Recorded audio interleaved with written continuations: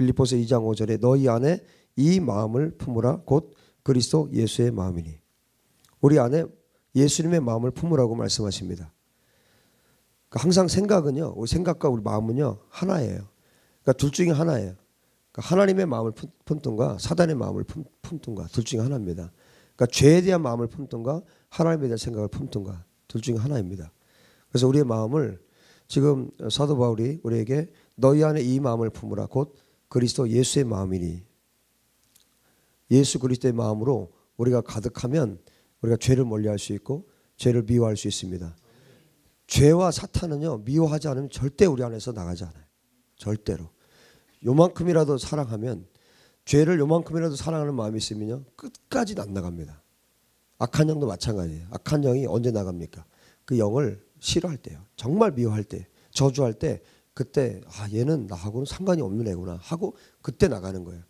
그래서 여러분 뭐 축사할 때도 마찬가지입니다. 여러분 축사하고 또 회개할 때도 마찬가지. 예요 여러분을 중심으로 얼마큼 하나님 앞에 나가는가, 얼마큼 하나님 사랑함으로 그분 앞에 나가는가, 그 죄, 죄를 그 악한 영을 내가 얼마큼 저주하는가. 그래서 많은 시간을 들여서 우리가 할 수도 있지만요, 여러분 짧은 시간 안에도 끝낼 수 있어요. 예수 그리스도 이름에 권능이 있고요. 그다음 에 우리가 죄를 미워하고 사단을 미워하면 악한 아, 양이 견딜 수가 없는 같이 살 수가 없, 거든요 여러분 오늘 예배 가운데 또 여러분의 기도 가운데 그런 은혜가 그런 역사가 있게 되기를 바랍니다. 우리 마음에 오직 품을 것은 예수 그리스도 예수 그리스도의 마음입니다. 여러분 마음과 생각은 항상 하나로 가요. 따로따로 따로 가는 게 아니에요. 사람들이 그렇게 생각하죠. 내 생각은 그게 아닌데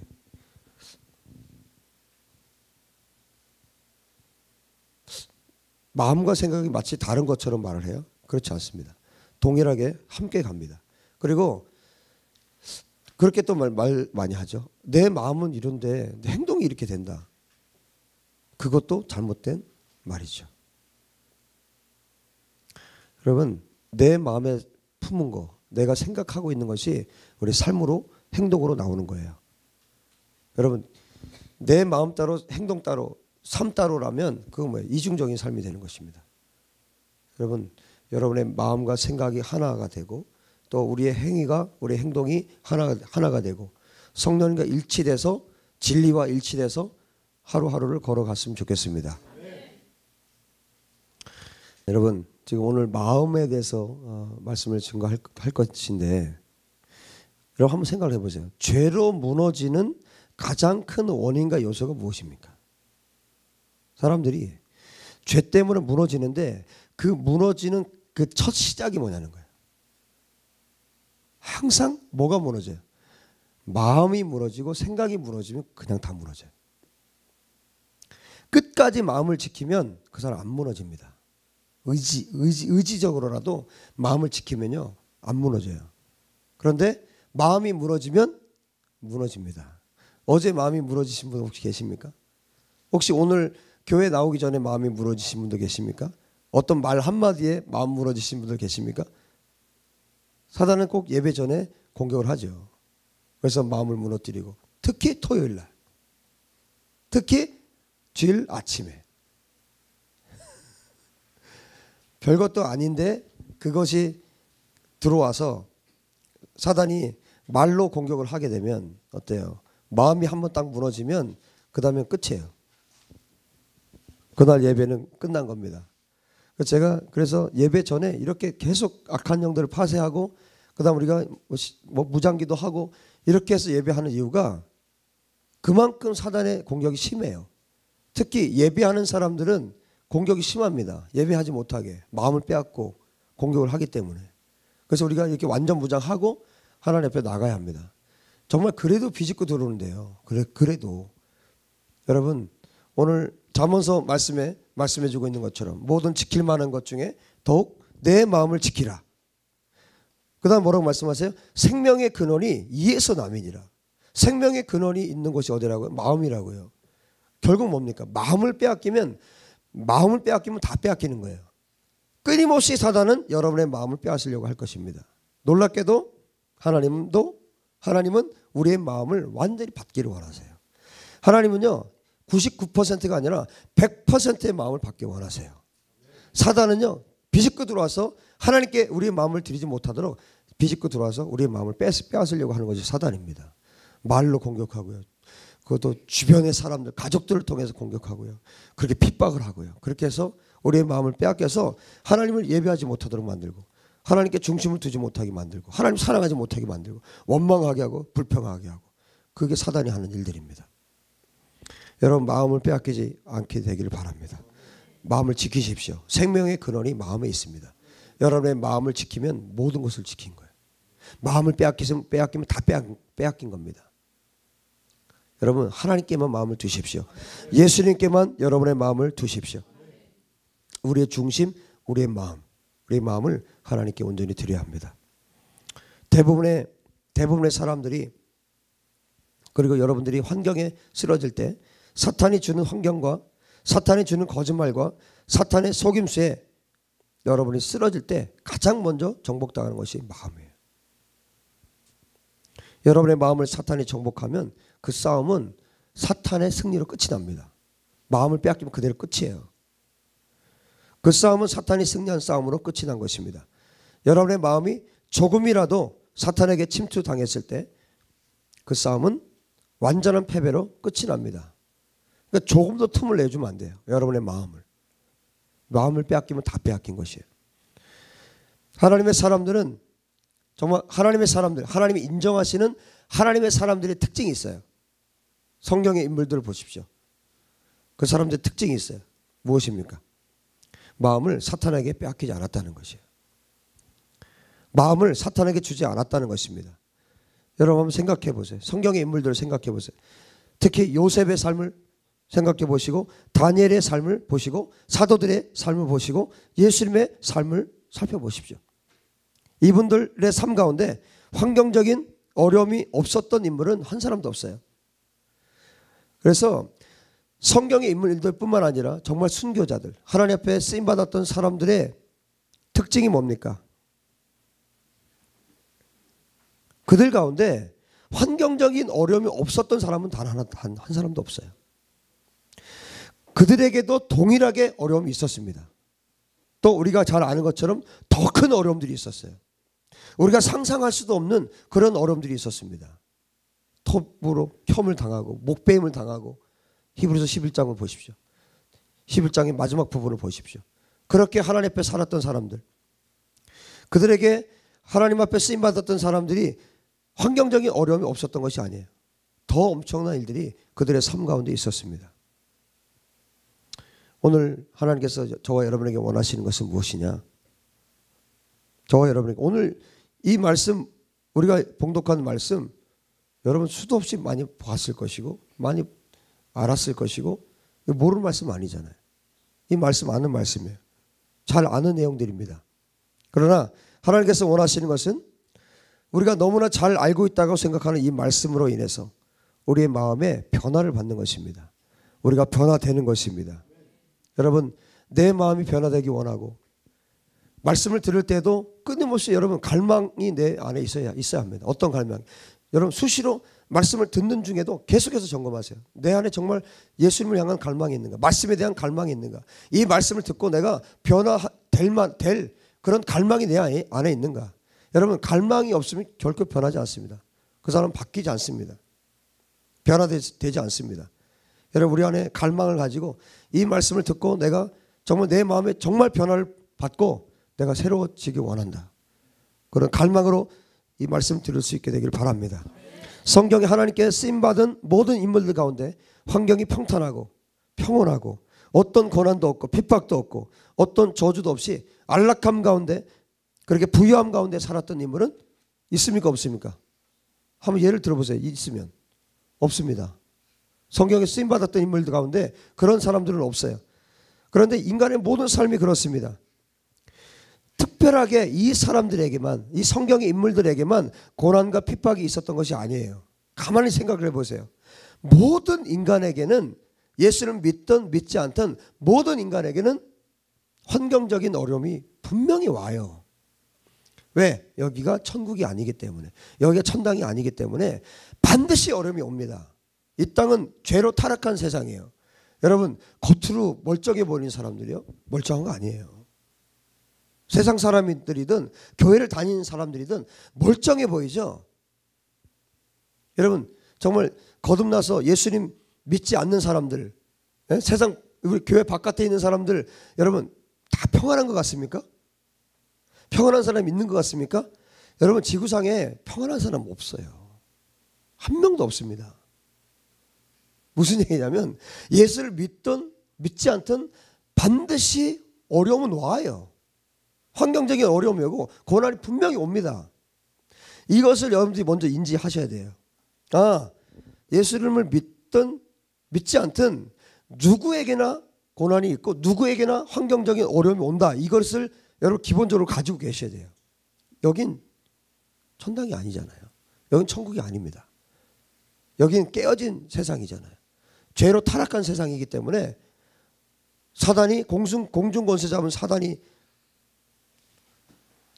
우는 사자처럼 삼킬자를 찾고 있기 때문에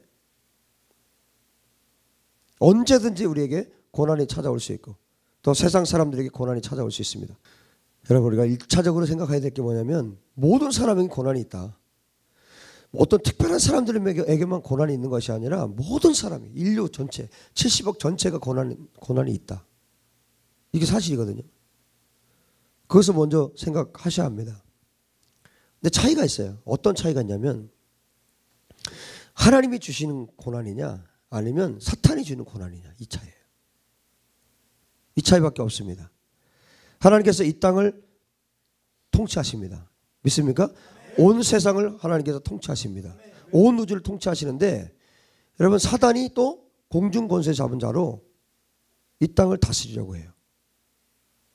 전쟁입니다. 이게 영, 영적 전쟁이에요. 그렇기 때문에 죄악된 이 세상의 모든 인간에게는 어려움이 오는 거예요.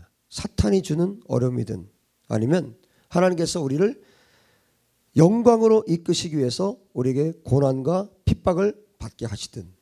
그러니까 두 종류죠. 하나는 말 그대로 사단에게 그냥 고통, 고난 당하는 거예요. 사단의 공중권세자분들에게. 또 한 가지 뭐예요? 하나님이 주시는 고난은 뭐예요? 그 결과가 뭡니까? 생명이고 영광이에요. 하나님, 우리가 하나님을 위해서 당하는 핍박과 고난은 그 핍박과 고난을 통해서 우리는 뭐예요? 하나님의 영광을 볼 수 있어요. 그결과가 하나님의 영광을 보는 것입니다. 그런데 반대는 뭐예요? 사단이 사단의 그 죽음 아래 놓여 있는 자들은 결국 뭡니까? 사망으로 가는 겁니다. 죽이고 멸망시킨 자가 사탄이기 때문에 모든 인간에게는 삶의 어려움들이 있습니다. 자신이 고난이라고 생각하는 일들이 펼쳐집니다. 여러분 돈이 정말 많다면 그러그 사람들은 평안할까요? 돈이 없을 때는 행복했는데요. 돈이 많아지니까 자식들이 싸우기 시작하고 법정으로 가고 그런 일들이 벌어지잖아요 실제로 모든 인류에게 동일하게 있는 일들이 고난입니다 성경의 인물들만 환경적인 고난과 어려움이 있었던 것이 아니라 모든 인간들에게 어려움이 오게 되어 있습니다 그러나 성경 인물들은 하나님께서 주시는 고난이 더 많았죠 베드로 사도가 이렇게 말합니다. 사랑하는 자들아 너희를 연단하려고 오는 불시험을 이상한 일 당하는 것 같이 이상히 여기지 말고 오히려 너희가 그리스도의 고난에 참여하는 것으로 즐거워하라. 이는 그의 영광을 나타내실 때에 너희로 즐거워하고 기뻐하게 하려 함이라. 너희가 그리스도의 이름으로 치욕을 당하면 복 있는 자로다. 그리스도를 그리스도의 이름을 위해서 치욕을 당하면 복 있는 사람이래요. 그리고 성경은 구, 성경은 적극적으로 이렇게 권유하는 것이 있어요. 고난 받으라. 고난을 피하라고 말하지 않습니다.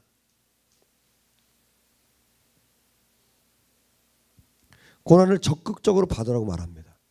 그래서 고난받는 자에게 예수님을 위해서 고난받는 자에게 베드로 전서 4장 14절에 뭐라고 얘기합니까? 영광의 영, 영이 영광의 영 하나님의 영이 너희 위에 계심이라 이렇게 말씀합니다. 고난 특별히 예수 그리스도를 위해서 복음을 위해서 고난 받는 자들에게 어떤 일이 있다고요? 영광의 영이 떠나지 않는다고요. 저와 여러분 위에 영광의 영, 하나님의 영이 떠나지 않게 되길 바랍니다. 네. 정말이십니까? 네. 정말 아멘이십니까? 네. 그러면 계속 핍박 받으셔야 되는데요. 인간은 사탄에 의해서 또 사탄의 유혹에 의해서 사탄이 주는 죄에 의해서 고난 받든지 핍박을 받든지 제가 뭐 핍박이라고 말했지만 이게 어, 사탄에 의해서 사탄의 유혹에 의해서 받는 건 사실은 고난이라고 말할 수가 없죠. 그건 그냥 그건 자기가 잘못해서 받는 거잖아요. 그렇죠? 그건 받아서 싼 거죠 어떻게 보면. 자기가 잘못 자기가 사탄에 속해서 사탄이 주는 유혹이 넘어진 거니까. 그렇게 해서 고, 난을 받든지 그 사단이 주는 유혹과 죄에 넘어가서 내 인생이 고난과 어려움에 빠지든지 아니면 예수님을 위해서 내 인생의 고난과 핍박이 따라는지두 가지로 갈린다는 거예요. 그러니까 사단에 넘어가서 고통스럽게 살든지 아니면 예수 그리스도를 위해서 핍박과 고난을 받든지 세상의 고난은 두 가지로 갈린다는 거예요. 그 중간은 없어요. 이 두 가지로 갈리는 거예요. 둘 중에 하나입니다. 그럼 마음에 마음에 내가 어떻게 해야 될지 이제 시작됐죠, 여러분 마음에. 그럼 내가 사단에 넘어가서 그냥, 그냥 힘들게 살든지 아니면 내가 그리스도로서 핍박을 받든지 둘 중에 하나를 선택해야 되는 거예요. 여러분 오늘 말씀을 들으면서 이 둘 중에 하나를 선택하셔야 돼요. 그리고 선택이 되었다면 그 길로 가셔야 합니다. 할렐루야. 어차피 인간에게는 고난이 와요. 어차피 70억 전체 다 어차피 고난이 따릅니다. 죄 때문에 고난받든지 하나님의 이름을 위해서 고난받든지 이 두 가지로 모든 고난은 갈리게 되는 것이에요. 모든 인간은 고난받게 되어 있습니다. 여러분, 여러분이 죄에 빠져 살 때 평안하십니까? 죄에 빠져 살 때. 죄에 빠져 살면 어떤 고난도 없습니까? 너무너무 고통스럽잖아요. 너무너무 괴롭잖아요. 그 죄에 걸려 넘어지는 것이 하나도 없습니까? 죄에 빠져 사는데? 그렇지 않잖아요. 모든 인간은 자신이 죄를 따라 죄를 지으면서 살아갈 때 그 죄로 인해서 자신이 걸려 넘어지고 어려움을 겪게 되어 있습니다. 여러분 모든 인류에게는 고난이 옵니다. 고난이 있습니다. 모든 인류가 고난 가운데 살아가고 있습니다. 먼저 우리가 여러분 어, 이것을 이 부분을 인지하고 계셔야 돼요. 이 부분을 인지하는 것이 왜 중요하냐면 나만 특별하게 고난 받는다고 생각하기 때문이에요. 왜 자꾸 나만 갖고 그러냐고 그러죠. 왜, 왜 나만, 나에게만 이런 고통이 있냐고 그러죠. 아니에요. 모든 인류가 고통 가운데 있어요. 여러분, 나만 특별하게 무슨 핍박받는 것처럼, 나만 뭐 특별하게 막 뭐 힘들고 어렵게 정말 예수 그리스도를 위해서 사는 것처럼 그렇게 생각하지 말라고요. 나만 정말 예수님을 위해서 살아서 내 나만 이렇게 고통을 주냐고 여러분 하나님한테 아, 왜 왜? 수많은 성도들이 있고 수많은 교회가 있는데 왜, 왜 나만 이런 고통을 받냐고. 누가 그랬어요? 에? 예? 나만 남았다고 누가 그랬어요? 하나님이 딱 말씀하시죠. 바알에게 무릎 꿇지 않은 7천을 남겨뒀어 이거사. 여러분 특별하게 나만 고통받고 특별하게 나만 어? 뭐 핍박받는 것 같고 예수 그리스도를 위해서 특별히 나만 나만 예수 그리스도를 위해서 사는 것처럼 여러분 지금 왜 이것을 인지하라고 말씀하시냐면 착각하지 말라는 거예요. 여러분 지금 똑같은 하늘 하늘 아래 지금 이 세대에 목베이고요, 총살당하고요, 예? 칼에 찔려 죽고요. 그렇게 순교하신 분들이 지금 허다해요. 정말 우리 한국 교회는요, 저와 여러분이 할 말 없어요. 북한 교회 여러분 북한 교회를 위해서 기도한다고요. 우리 아, 우리 아까 북한 기도 기도했는데 기도하면서도 사실 부끄러워 저는요. 여러분 북한 지하 교회를 위해서 기도한다고요. 한국 교회 기도는요 어림도 없습니다. 그분들 목숨 걸고 신앙생활 하는 분들이에요. 걸리면 그냥 죽어요. 그분들이요 이 한국 땅 위에서 기도하고 있다고요. 이 남한 땅 위에서 기도하고 있다고요. 여러분 나만 왜 특별하게 무슨 고난 받고 나만 뭐 특별하게 뭐 신앙생활 하는 것 같고 그런 생각 아예 버리십시오. 모든 사람에게는 고난이 있습니다. 온 인류가 죄 가운데 살기 때문에 고난이 있어요. 여러분 우리의 생각에 전환이 필요합니다. 나만 특별히 고난 받는 이건 완전히 비질립니다. 여러분 우리는 할 말 없어요. 우리는 입 딱 다물고 정말 주님 앞에 정말 정말 할 말 없어요.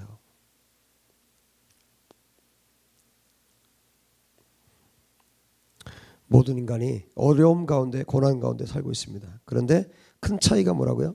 죄 때문에 고난 받느냐 아니면 여호와 하나님 때문에 고난 받느냐 이 차이예요. 여러분 예수님 때문에 고난 받게 되기 바랍니다. 여러분이 앞으로 어떤 고난을 받을 때 이것이 나의 죄 때문에 걸려 넘어져서 오는 고난이냐 아니면 여호와 하나님 말씀을 내가 따라가다가 신실하게 하나님 말씀을 따라가다가 하나님의 영광으로 해서 받는 권한이냐 이것을 먼저 분별하세요. 이게 내 죄 때문이냐 아니면 내가 정말 그리스도를 위해서 걸어가다가 믿음으로 살려고 걸어가다가 받는 고난이냐 이거 이거를 분별하라고요. 그럼 쉬워지죠. 두 가지밖에 없으니까. 그래서 내가 그리스도를 위해서 받는 고난과 아픔이 아니라면 그건 뭐예요? 내 죄 때문인 거예요. 그럼 분별이 되죠? 그럼 뭐 하면 됩니까? 회개하고 돌이키면 돼요. 회개하고 돌이켜서 내가 죄를 위해서 살기로 결단하고 그 길로 걸어가면 되는 것입니다. 모든 순간에 분별하시기 바랍니다. 여러분 베드로 사도의 말을 더 들어보십시오. 15절에 너희 중에 누구든지 살인이나 도둑질이나 악행이나 남의 일을 간섭하는 자로 고난을 받지 말려니와 만일 그리스도인으로 고난을 받으면 부끄러하지 말고 도리어 그 이름으로 하나님께 영광을 돌리라. 19절에 말합니다. 그러므로 하나님의 뜻대로 고난을 받는 자들은 또한 선을 행하는 가운데 그 영혼을 미쁘신 창조주께 의탁할지어다. 여러분이 먼저 죄에 걸려 넘어져서 죄를 따라 살아가다가 어려움을 겪을 때 아까도 말씀드렸지만 사실 이거는 고난은 아니에요. 죄 때문에 걸려 넘어졌는데 그건 고난이 아니죠. 그런 어려움을 겪을 때 여러분 회개하시면 됩니다. 돌이키시면 됩니다. 여러분이 죄를 따라가 살 때, 죄를 지을 때 여러분은 반드시 고난을 받게 되어 있어요. 반드시 고난이 옵니다. 죄 때문에 걸려 넘어지게 되어 있습니다. 호세아 14장 9절에 누가 지혜가 있어 이런 일을 깨달으며 누가 총명이 있어 이런 일을 알겠느냐 여호와의 도는 정직하니 의인은 그 길로 다니거니와 그러나 죄인은 걸려 넘어지리라 죄인은 반드시 걸려 넘어지게 되어 있습니다. 이것이 하나님 말씀이에요. 죄로 인해서 여러분의 생각과 마음이 해를 입고 영이 고난을 받고 생각과 마음이 고난을 받습니다. 그러니까 죄로 인해서 심지어 육체가 아프기도 하잖아요. 뼈가 마르죠. 뼈가 말라요. 결국 죄는요, 우리 영혼 육을 상하게 합니다. 그래서 여러분 우리가 죄에 대한 대가가 분명히 오는데 그것을 단순히 우리 육체 죽음만 생각하면 안 돼요. 죄의 삭시 사망이라고 했는데 그럼 내가 죽지 않고 살아있는 건 내가 죄가 없는 것인가 아니잖아요. 그걸 말하는 게 아니잖아요. 물론 육체 주문도 와요. 그러나 죄를 짓게 되면 죄의 삭시 사망인데 사망의 그늘 아래 에 살게 된다는 거예요. 우리 영혼육이 해를 입어요. 병원에서 진단이 안 되는 병명이 안 나오는 병이 얼마나 많습니까? 다 죄로부터 온 거예요. 죄로 인해서 영혼력 전체가 고통을 받게 됩니다. 죄 때문에 어떤 환경에 또 변화가 오게 되고 죄 때문에 하나님께서 어떤 경우에는 누군가를 치기도 하시고 죄 때문에 또 걸려 넘어지기도 하고 이렇게 죄 때문에 오는 고난들이 있습니다. 반대로 하나님의 영광을 위해서 고난 받는 일들이 있죠.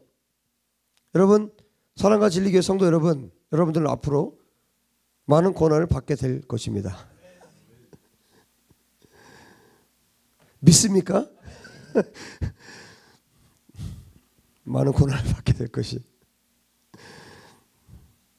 그런데 여러분이 먼저 인지해야 할 것은 아까 말씀드린 대로 왜요? 나만 특별하게 고난받는 거 아니라는 거. 그래서 먼저 생각하십시오. 내가 고난받는 것이 핍박당하는 것이 뭔가 정말 내가 특별한 것처럼 그렇게 생각하지 말라고요. 대단하게 생각하지 말라고요. 한마디로 교만하지 말라는 뜻입니다. 아, 내가 정말 대단한 사람이다. 그렇게 생각하지 말라고요. 내가 정말 대단하기 때문에 내가 핍박을 받는구나. 그렇게 생각하지 말라고요. 아, 내가 대단하기 때문에 이 정도의 고난을 받는구나. 예수님의 이름을 위해서 내가 이렇게 고난 받는구나. 그런 생각하지 말라고요. 성경에서 여러분이 받는 고난에 대해서 기이하게 여기지 말라고 말씀합니다. 베드로 사도가 분명히 말하죠. 어차피 여러분은 이 땅에 사는 동안 고난받게 되어 있습니다. 모든 인류가 고난받기 때문에 동일하게 고난받습니다. 여러분이 예수를 위해서 고난받지 않는다면 여러분은 죄로 인해서 고난받게 될 것입니다. 여러분 결정하십시오. 계속 결정하십시오. 계속 선택하십시오. 무엇을 선택할 것입니까? 죄로 인해서 고난 받으실 것입니까? 예수를 위해서 고난 받겠습니까? 전자입니까? 후자입니까? 헷갈리죠. 예수를 위해서 고난 받으십시오. 그렇게 결정하십시오. 어차피 우리의 인생에는 고난이 따릅니다. 이 세상은 죄로 타락했기 때문에 로마서 1장 18절에 하나님의 진노가 불의로 진리를 막는 사람들의 모든 경건하지 않음과 불의에 대하여 하늘로부터 나타나니 에덴 동산에서 아담과 하와의 범죄로 말미암아 죄가 세상에 들어왔어요. 그리고 그 죄의 결과에 대해서 성경은 이렇게 말씀합니다. 제가 쭉 읽어드릴게요.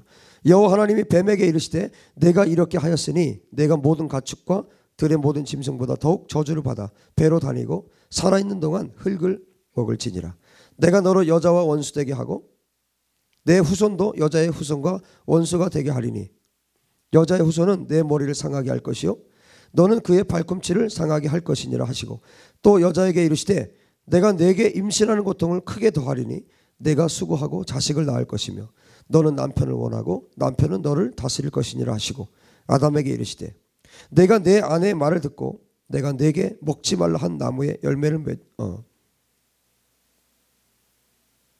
먹었은즉 땅은 너로 말미암아 저주를 받고 너는 내 평생에 수고하여야 그 소산을 먹으리라 땅이 내게 가시의 덤불과 엉겅퀴를 낼 것이라 내가 먹을 것은 밭의 채소인즉 내가 흙으로 돌아갈지니 돌아갈 때까지 얼굴에 땀을 흘려야 먹을 것을 먹으리니 내가 그것에서 취함을 입었음이니라 너는 흙이니 흙으로 돌아갈 것이니라 하시니라 죄로 타락한 이 세상에서의 삶은 이미 창세기 3장에 예고한 것처럼 반드시 고난과 어려움이 오게 되어 있습니다.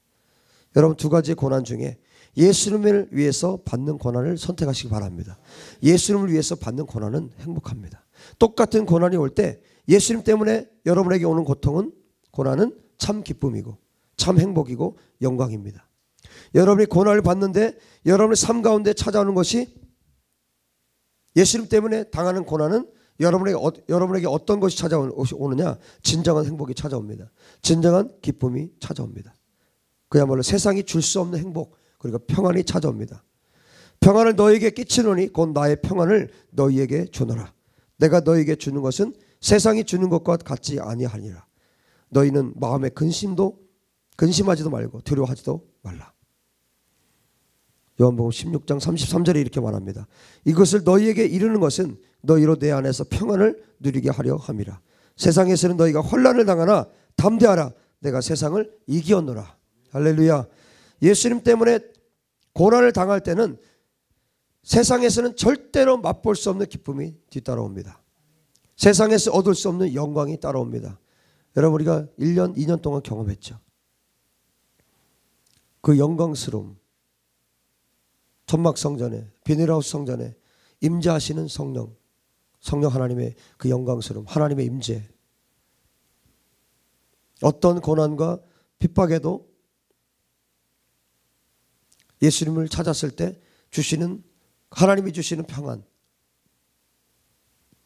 세상에서 얻을 수 없었던 그 영광, 기쁨, 즐거움. 돈 하나도 없어도 다 먹여주시는 그 하나님. 만나와 매출하기를 경험했고, 성령의 임재를 경험했고, 대학 베스트에서에서도 어디서 그렇게 불어오는지 불어주시는 그 미풍. 다 경험했잖아요.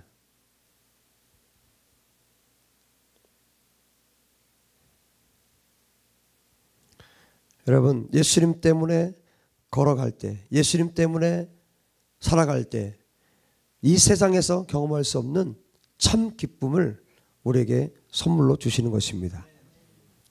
그런데 여러분이 이 고난, 예수님 때문에 받는 고난을 받지 않을 때, 여러분은 죄로 인해서 고난을 받게 됩니다. 이 영광을 받지 않을 때 죄로 인해 고난받게 되어 있습니다. 결정하십시오. 복음을 위한 고난이 아니라면 죄에 의한 고난이라는 것이에요. 여러분 지금 이 부분이 깨달아지십니까? 내가 지금 무엇을 결정해야 될지 결정하고 계십니까?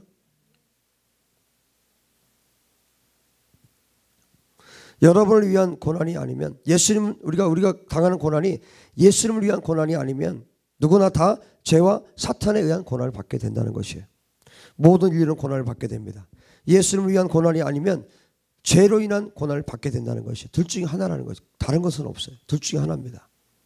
왜냐하면 하나님께서 죄의 삭은 사망이라고 말씀하셨기 때문에 죄는 반드시 대가가 따릅니다. 여러분의 죄를 따라갈 때, 죄를 지을 때 거기에 따르는 것이 있어요. 그 삭시 있습니다. 반드시 하나님이 값을 지불해 주세요. 죄에 대해서. 뭡니까? 사망이 뒤따릅니다. 죽음입니다. 죄로 오는 사망의 고난이 따라옵니다. 죄를 따라 살아갈 때 오는 것이 두 가지죠. 그 사람은 죽음으로 가게 되고 고난받게 되어 있습니다. 이 죄에 대한 고난은 사망의 고난입니다. 죽고 싶은 것이죠. 죽음으로 가는 것이죠. 우울하게 되고 심지어 자살하게 됩니다. 죄의 결과로 그런 일들이 나타나는 것입니다. 죄에 대해서 고난받고 죄에 대한 결과로 사망의 결과들이 나타나는 것이에요. 죽음의 그늘 아래 있는 일들이 내 삶의 열매로 나타나게 됩니다. 그게 죄의 삭시예요. 여러분이 죄를 따라갈 때 그 죄 때문에 반드시 고난받게 될 것입니다. 낙심하게 될 것입니다. 사탄이 여러분의 마음을 장악해서 낙심하게 하고 두렵게 하고 감정을 요동치게 하고 즐겁다가 우울하다가 요동치는 감정을 불어넣을 것이에요. 그게 다 사탄이 하는 것이에요. 우울증 사탄이 주는 거예요. 조울증 사탄이 주는 겁니다. 정신병 다 그 사탄이 주는 거예요. 또한 여러분에게 죽음을 생각하게 할 것입니다. 소망을 찾지 못하게 할 것입니다. 여러분을 거짓된 길로 인도할 것이고 여러분의 생각과 마음을 거짓으로 채우다가 결국 여러분을 삼켜버릴 것입니다. 죽음으로 지옥으로 끌고 갈 것입니다. 도둑이 오는 것은 도둑질하고 죽이고 멸망시키려는 것 뿐이요. 내가 오는 것은 양으로 생명을 얻게 하고 더욱 풍성하게 얻게 하려는 것이라. 예수님께서 말씀하셨죠. 사탄은 죽이고 멸망시키는 것이 목적이에요. 지옥 갈 때 혼자 가지 않습니다. 지옥 갈 자들 끌고 가는 거예요. 사탄은 죽이고 멸망시키려고 끊임없이 삼킬 자를 찾습니다. 여러분, 하나님을 따를 때 고난이 옵니다. 사탄을 따를 때도 고, 난이 와요. 죄를 따를 때 고난이 옵니다. 모든 인간은 하나님을 따르든가 사탄을 따르든가 두 가지 길밖에 없습니다. 중간은 없어요. 거듭나서 물과 성령으로 우리가 거듭나서 위로부터 위로부터 부어주시는 새 생명을 얻고 거듭나서 표 대신 예수 그리스도만을 따라가든지 아니면 사탄을 따라가든지 이 두 가지밖에 없다는 것이에요. 우리가 하나님을 따라 살 때도 고난이 있습니다. 모든 자에게 고난이 있습니다. 그런데 예수님을 위해 받는 고난의 결과는 죄로 오는 사탄을 따라갔을 때 오는 결과는 완전히 다릅니다. 예수님을 따라갔을 때 오는 결과 무엇입니까? 생명입니다. 생명. 천국입니다. 참된 즐거움이고 기쁨입니다. 그러면 여러분 가운데 거듭나지 못한 분은 또 낙심이 될 수도 있기 때문에 제가 한 말씀 드립니다. 그럼 난 뭔가? 그런 분들을 위해서 말씀드립니다. 그럼 나는 죄에 속한 것이 난 사단의 자식인가? 나는 하나님께 속한 자가 아니라 죄에 속한 자인가? 사도 바울이 고린도전서 15장에요. 이렇게 말을 해요. 잘 들어보세요. 내가 받은 것을 먼저 너희에게 전하였노니 이는 성경대로 그리스도께서 우리 죄를 위하여 죽으시고 장사 지낸 바 되셨다가 성경대로 사흘 만에 다시 살아나사 개바에게 보이시고 후에 열두 제자에게와 그 후에 오백여 형제에게 일시에 보이셨나니 그 중에 지금까지 대다수는 살아있고 어떤 사람은 잠들었으며 그 후에 야고보에게 보이셨으며 그 후에 모든 사도에게와 그 다음에요. 맨 나중에 만삭되지 못하여 난자 같은 내게도 보이셨느니라. 뭐라고 얘기해요? 만삭되지 못하여 난자 같다. 자기 자신을 말할 때. 무슨 얘기예요? 달을 열 달을 채우고 나와야 되는데 달도 채우지 못하고 나온 그런 사람 같다. 그런 얘기예요. 그 뒤에 뭐라고 얘기한지 아세요? 나는 사도 중에 가장 작은 자라 나는 하나님의 교회를 박해하였으므로 사도라 칭함받기를 감당하지 못할 자니라. 교회를 박해했어요. 예수님 박해한 겁니다. 그러면 하나님 편에서는 죽여야 돼요. 그죠? 사도 바울. 그때는 사도 바울이 사도가 아니었죠. 사울. 죽여야 됩니다. 죄로. 어디 교회를 박해하고. 그 예수님을 핍박했잖아요. 근데 그 다음 뭐라고 얘기하냐면 나는 그러니까 사도라 칭함 받기를 감당이 못할 자니라. 그 다음에 그러나 내가 나 된 것은 하나님의 은혜로 된 것이니. 할렐루야. 내게 주신 그의 은혜가 헛되지 아니하여 내가 모든 사도보다 더 많이 수고하였으나 내가 한 것이 아니요 오직 나와 함께 하신 하나님의 은혜로라. 자기는 만삭되지 못해서 달도 채우지 못한 그런 미숙한 그런 인생이었는데 하나님의 은혜를 베푸셨다. 그렇게 말씀하고 있어요. 내가 아직 태어날 때가 되지 않았는데 태어난 자라고 지금 바울이 고백하고 있는 것입니다. 여기에서 우리가 거듭남에 대해서 한번 생각해 볼 수 있어요. 내가 아직 해산할 때가 되지 않았는데 태어난 자와 같다. 그렇게 바울이 말했는데 거듭나는 것은 위로부터 다시 태어나는 거예요. 아노덴이라는 헬라 말을 쓰죠. 위로부터 다시 태어나는 거예요. 그런데 태어나기 위해서 태어날 때가 날 때가 될 때까지 세상이 나올 때까지 해산의 때까지 일정의 시간이 필요해 필요하죠. 일정의 시간이 필요하다는 것을 바울의 고백을 통해서 알 수 있어요. 자기 자신을 만삭되지 못한 내가 같은 자기라고 표현했잖아요. 어떤 자들은 아직 날 때가 되지 않았는데 사도 바울처럼 이렇게 하나님의 은혜로 그냥 태어나는 자도 있다는 거예요. 저도 그런 사람이었습니다. 또 만삭이 되어서 달을 다 채우고 태어나는 자들도 있습니다. 무슨 얘기냐면, 얘기냐면 어머니 뱃속에서 열 달이 있어야 태어나는 것처럼 그 시간이 필요하다는 거예요. 그리고 그 아이가 좀 하나님의 세상에 나오게 할 때 그때 나와야 돼요. 여러분 촉진제 맞고 병원에 가서 그러죠. 그 애기요 굉장히 치명타를 입습니다. 영적으로 진짜로요. 애, 애를, 아이, 애, 를 죽이는 거예요. 그는요. 그, 그 혹시라도 그, 그렇게 병원 가서 하셨으면 회개하셔야 됩니다. 회개하고 아이에게 그 흘러간 그런 두려움 다 끊어줘야 돼요. 여러분 이 세상은요 영적이지 않은 것이 하나도 없어요. 전부 다 영적인 거예요. 보이지 않는 세계에 의해서 보이는 세계가 움직이는 거예요. 보이는 세계가 영적인 세계를 움직이는 것이 아닙니다. 여러분 모든 것을 하나님 말씀대로 하시기 바랍니다. 모든 것을 여러분 아이들 어떻게 어떻게 어떻게 어, 출산한 다음에 어떻게 해야 되는지 몇 개월 뭐 얼마 동안 아이를 돌봐야 되는지 이런 얘다 있어요. 성경이 다 있어요. 그대로 하면 됩니다. 여러분 의사가 알면 얼마나 알겠습니까? 하나님이 아시는 거죠. 하나님 말씀대로 우리가 해야 되죠.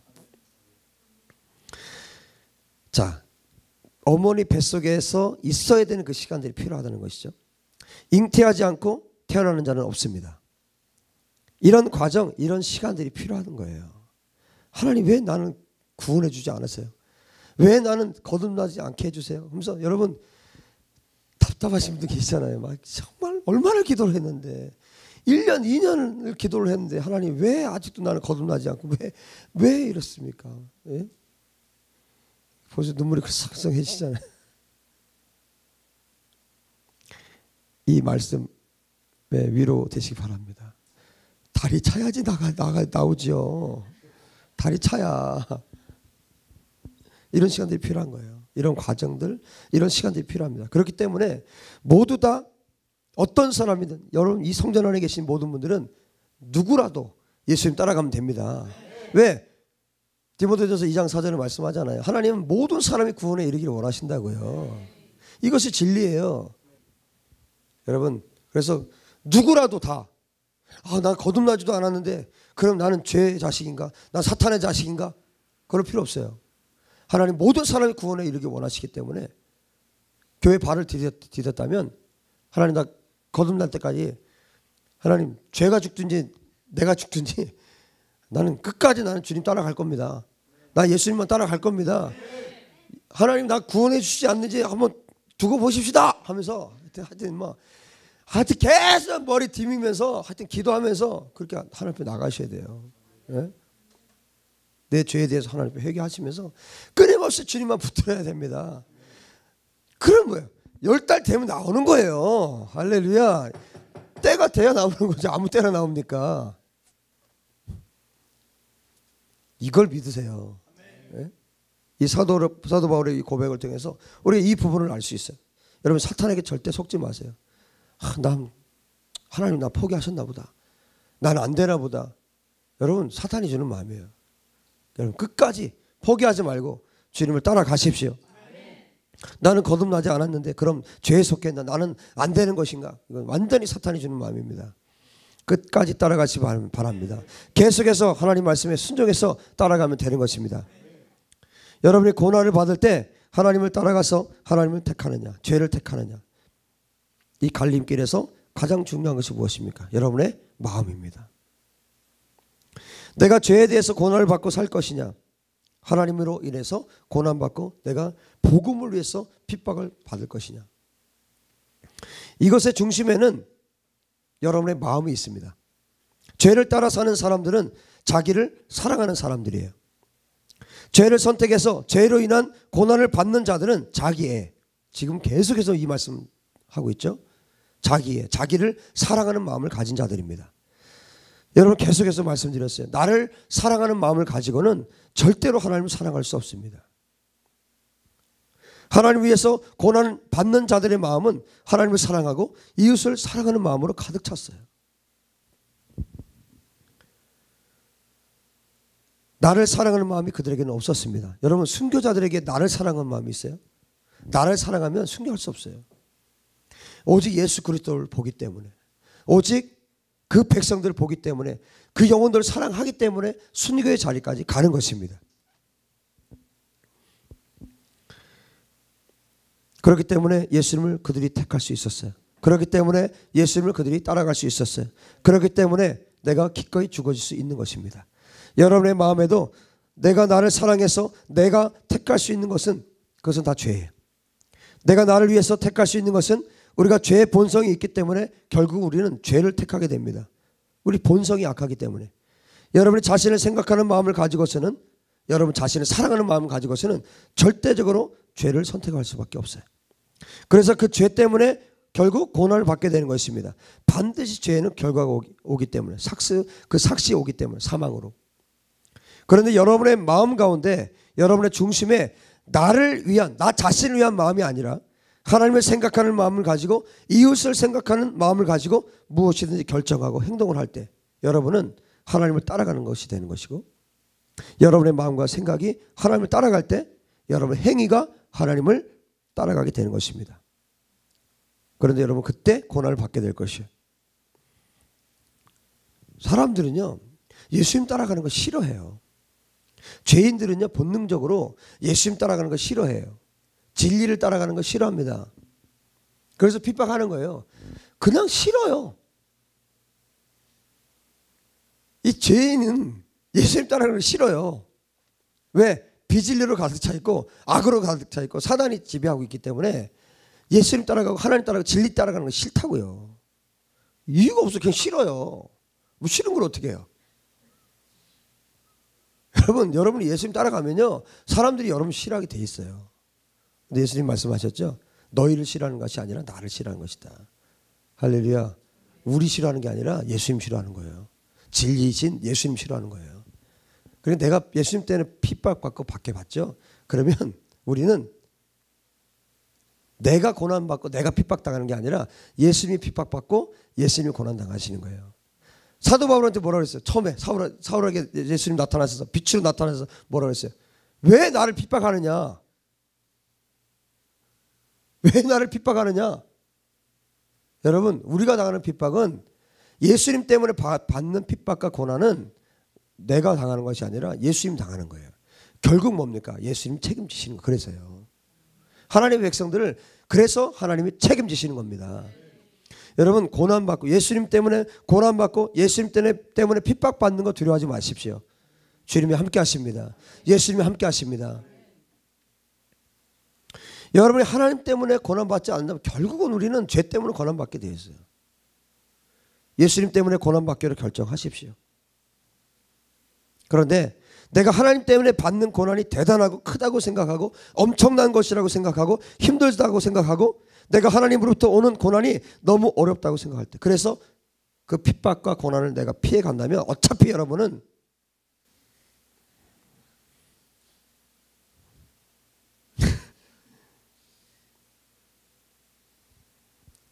여러분 주를 위해 고난 받기를 결정하십시오.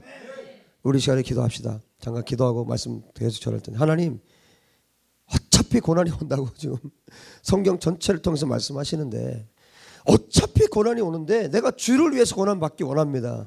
내가 예수님 때문에 고난 받기 원합니다. 내 더러운 죄 때문에 고난 받고 사단에게 넘어가서 유혹에 넘어가서 죄, 내가 죄 가운데 살다가 고난 받는 것이 아니라 예수님 때문에 고난받기 원합니다. 예수님 때문에 내가 핍박받기 원하고 예수님 때문에 복음 때문에 내가 살기 원합니다. 기도합시다. 하나님 아버지 이 시간 우리가 다시 한번 먼저 결정하고 나가기 원합니다. 예수님 때문에 고난받을 것인지 죄 때문에 사단에게 속아서 고난받을 것인지 결정하기 원합니다. 하나님 우리 가운데 결단이 있기 원합니다. 예수님 때문에 복음 때문에 하나님의 영광을 위해서 고난받는 자들이 될 수 있도록 하나님 아버지 우리를 붙들어 주시옵소서 하나님 이 두 가지의 선택 앞에서 하나님 내가 무엇을 결정하고 무엇을 선택해야 될지 하나님 이 시간 결정하게 도와주시기를 원합니다.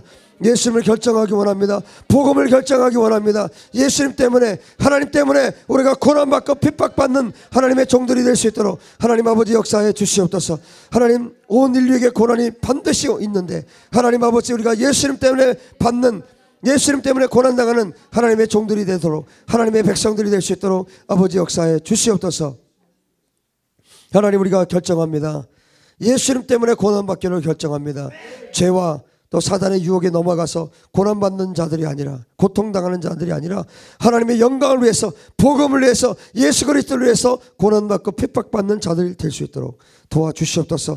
그 결, 결말이 그 결과가 그 열매가 하나님의 영광이 되기 원합니다. 영광을 맛보게 되기 원합니다. 주님 도와주시옵소서. 예수님 이름으로 기도합나이다. 아멘. 어차피 둘 중 하나의 고난은 분명히 있습니다. 그런데 사탄이 이걸 계속 속이는 거예요. 예수님을 위해 받는 고난은 어렵고 힘들다. 그건 정말 엄청난 일이다. 그건 정말 대단한 일이다. 이렇게 사단이 속여요. 사탄이 계속해서 그렇게 생각하도록 우리 마음을 부추깁니다. 사탄은 죄 때문에 받는 고난에 대해서는 생각하지 못하게 해요. 여러분 바라보십시오. 여러분의 눈으로 보십시오. 죄의 길로 가는 사람들 중에 정말 행복한 삶을 사는 자들이 있습니까? 뭐 대단하게 사는 것 같지만 시간 지나고 나면 다 드러나잖아요. 참 만족을 누리고 즐거움을 누리고 행복하게 사는 자들이 이 세상 가운데 한 명이라도 있습니까? 죄가, 죄를 따라가면서 사는 자들 가운데 단 한 명도 없습니다. 아예 없습니다. 왜냐하면 그들이 죄 때문에 자신이 지은 죄 때문에 고난받기 때문에 행복함이 없는 것이에요. 절대로 즐거울 수 없습니다. 그러나 하나님 때문에 고난을 받을 때 우리는 진정으로 행복한 삶을 살 수 있습니다. 여러분이 하나님을 위해서 고난받기 위해서는 무엇이 제일 중요할까요? 여러분 마음이 중요합니다. 여러분의 중심이 중요합니다. 그 중심이 뭐예요? 오늘 성경 뭐라고 말, 말씀합니까? 생명의 근원이라고 말씀하고 계십니다. 여러분이 생명으로 갈 것인가 아니면 죽음으로 갈 것인가? 이것이 여러분의 마음의 마음에서 결정이 되는 것이에요. 여러분 내가 어떤 생각과 사탄이 주는 어떤 생각에 사로잡혀도 그렇죠. 어떤 생각이 딱 사로잡히면 사단이 주는 생각이 잡히면 여러분의 마음이 괴롭고 또 고통에 빠지고 또 피곤하고 그죠? 뭐 육체적인 뭐 활동을 한 것도 아니에요. 그냥 생각에 사로잡혔는데 사단이 주는 염려에 딱 잡혔어요. 근데 무슨 육체적인 활동을 한 것도 뭐 운동을 한 것도 아니야. 그런데 어때요? 몸이 엄청 피곤하잖아요. 육체가. 아주 영혼육 전체가 피곤하잖아요. 그죠? 어떤 생각이 사로잡히면 여러분의 마음을 그리스도 예수께 완전히 고정하셔야 됩니다.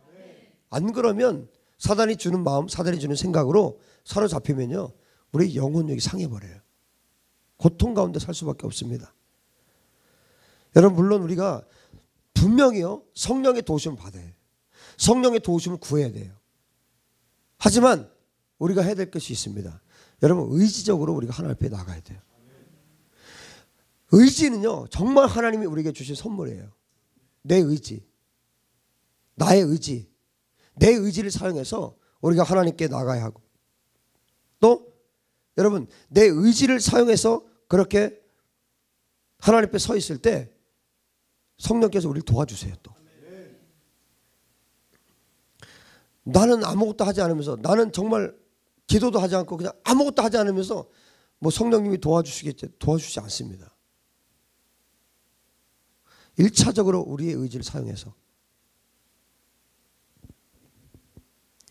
우리의 마음을 지키기 위해서 물론 성령의 도우심이 정말 절대적으로, 절대적으로 필요합니다. 그래서 하나님께서 우리에게 의지라는 선물을 주셨잖아요. 모든 지킬 만한 것 중에 더욱 내 마음을 지키라. 이게 명령이거든요. 지키라. 명령이에요. 여러분, 이 명령을 우리에게 주셨다는 얘기 무슨 얘기입니까? 할 수 있다는 얘기예요. 마음 지킬 수 있다는 겁니다. 여러분, 우리 죄 짓지 않을 수 있습니다. 이게 하나님 말씀이에요. 요한복음 8장에. 현장에서 붙잡혀 온 그 여인에게 마지막으로 주님 말씀하셨잖아요. 가서는 가서 다시는 죄짓지 말라고 하셨어요. 할 수도 없는 예수님이 그런 말 하신 거 아닙니다. 할 수 있기 때문에 그 말씀을 하신 거예요. 여러분 모, 모든 지킬 만한 것 중에 더욱 내 마음을 지키라. 생명의 근원이 이에서 남이니라. 무슨 얘기입니까? 지킬 수 있다는 거예요. 우리 마음 지킬 수 있습니다. 왜 못 지키느냐? 지킬 의지가 없기 때문이에요. 마음을 지키고자 하는 마음이 없기 때문이에요. 내 마음 빼앗겼, 이미 빼앗긴 거예요. 죄에 빼앗긴 거예요. 사단에게 빼앗긴 겁니다. 빼앗겨 버리고 나니까 그 다음에 그냥 무너지는 거예요. 마음이 무너지면 전체가 다 무너지는 겁니다. 성문을 열어주는 거랑 똑같아 요 적에게. 그러면 적군이 들어와서 전부 다 다 노략질합니다. 여러분 인생 전체를 다 노력, 노략질합니다. 심지어 사람들 자살하잖아요. 노략질 당한 거예요. 사단에게. 마음을 지키지 못해서 마음을 내어준 거예요. 사단이 죽이고 멸망시킨 겁니다. 여러분 마음을 지키십시오. 너의 마음을 지키라. 너가 지키라. 다른 누가 지켜주는 것이 아니고 하나님이 지켜주시는 것이 아니고 너가 지키라고 말씀합니다. 생명의 근원이 이에서 남이니라. 너가 마음을 스스로 지킬 수 없기 때문에 너는 성령의 도움을 구하라 이렇게 말씀하지 않아요? 너는 약하기 때문에 너는 음, 의지 박약이기 때문에 너는 네 의지가 너무 약하기 때문에 너 지킬 수 없으니까 너 성령의 도움을 구해 이렇게 말하지 않아요. 하나님 말씀이에요. 더욱 내 마음을 지키라. 지키라. 너의 성문을 지키라 이거예요. 여러분 성문을 굳게 지키시기 바랍니다. 피 흘리기까지. 죄하고는요 어떻게 요피 흘리기까지 싸워야 됩니다. 피 흘리기까지 싸우고 싸우기 원하는 내 마음이 없으면 그 의지가 없으면요 그 사람 반드시 무너집니다. 사단과 내가 싸워서 내가 내가 너를 죽이겠다 해야 이길 수 있는 거예요. 죄와 사탄은요 그렇게 싸워야 됩니다. 너무 여러분 얕잡아 보시면 안 돼요. 예수 그리스도의 이름의 권세도 못 가진 자가 뭐 사단을 어? 함부로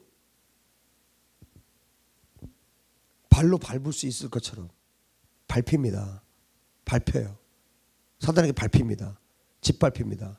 문 열어주고 다 짓밟힙니다. 마음을 지키십시오. 그 마음의 성문을 굳게 지키십시오. 어떤 더러운 것이 들어와도 사단이 들어와도 어떤 유혹이 들어와도 문을 지키십시오. 닫아 딱 걸고 절대로 열어주면 안 됩니다. 얼마나 많이 속입니까? 문 열어달라고. 예수님인 것처럼 적그리스도.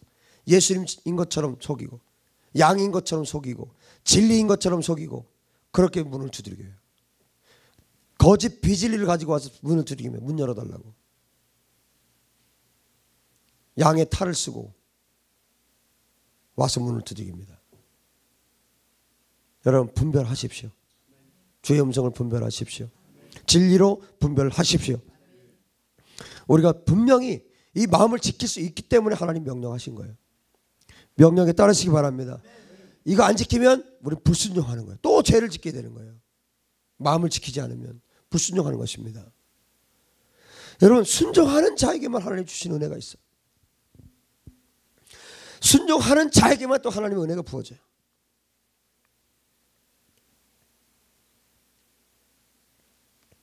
반드시 성령님이 계시기 때문에 우리의 마음을 지킬 때 또한 성령님의 도우심이 필요합니다. 그렇게 되면 우리는 더 완전해질 수 있겠죠. 내가 의지적으로 하는 것보다 성령님의 도움을 받으면 완전해질 수 있습니다.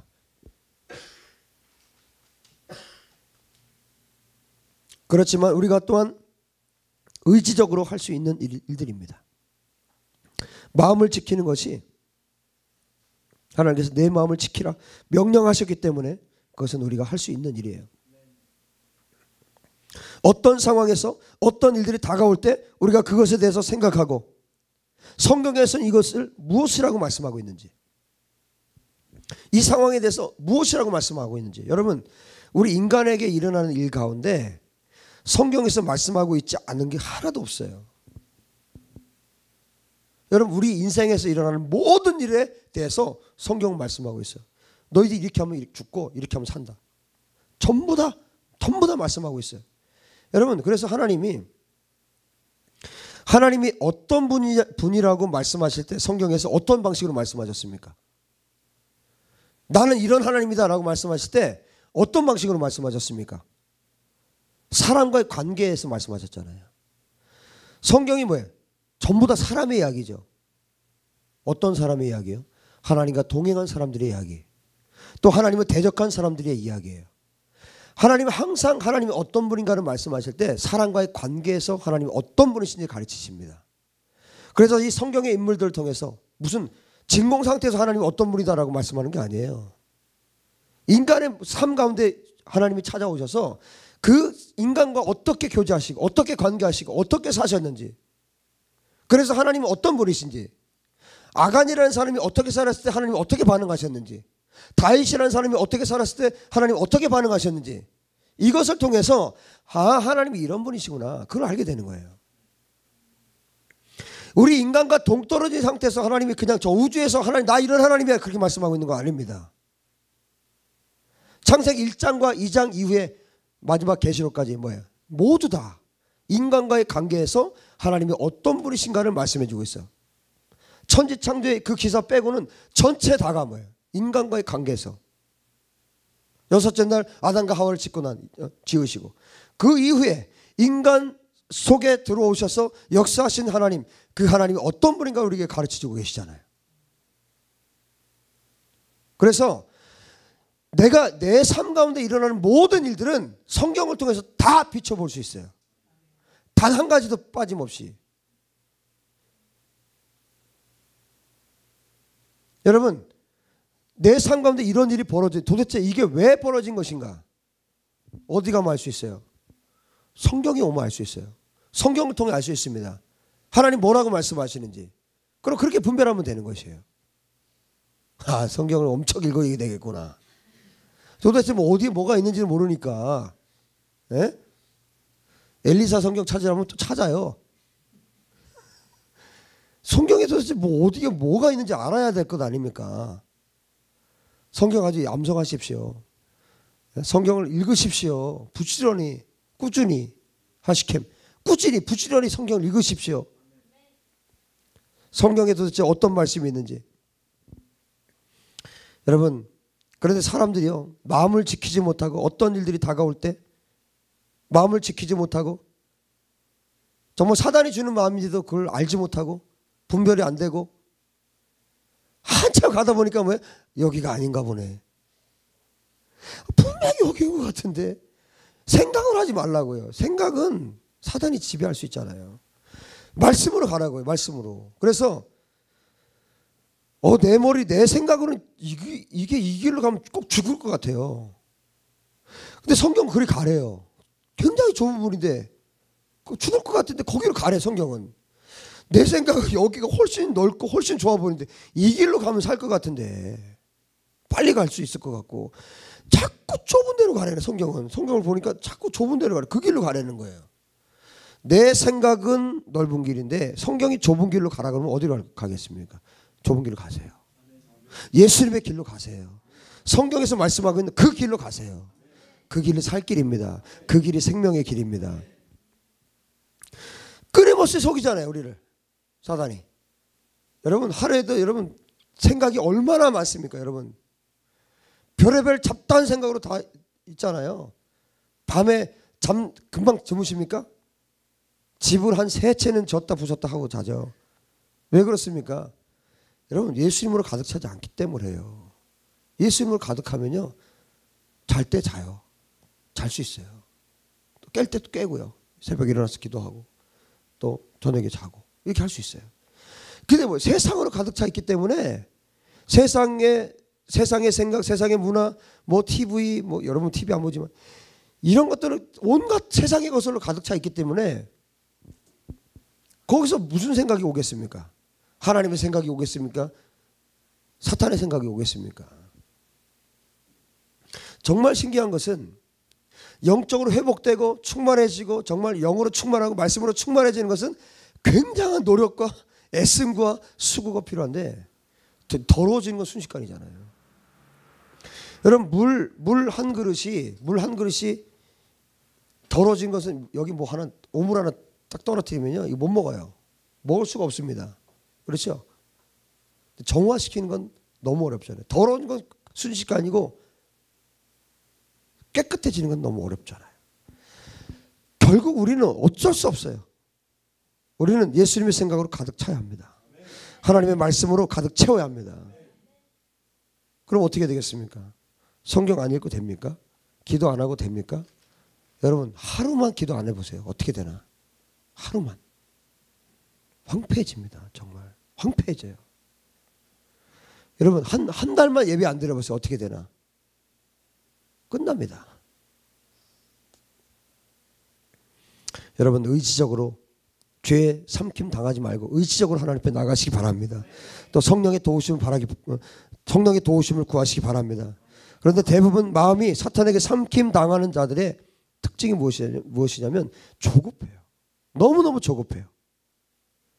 절제함이 없습니다.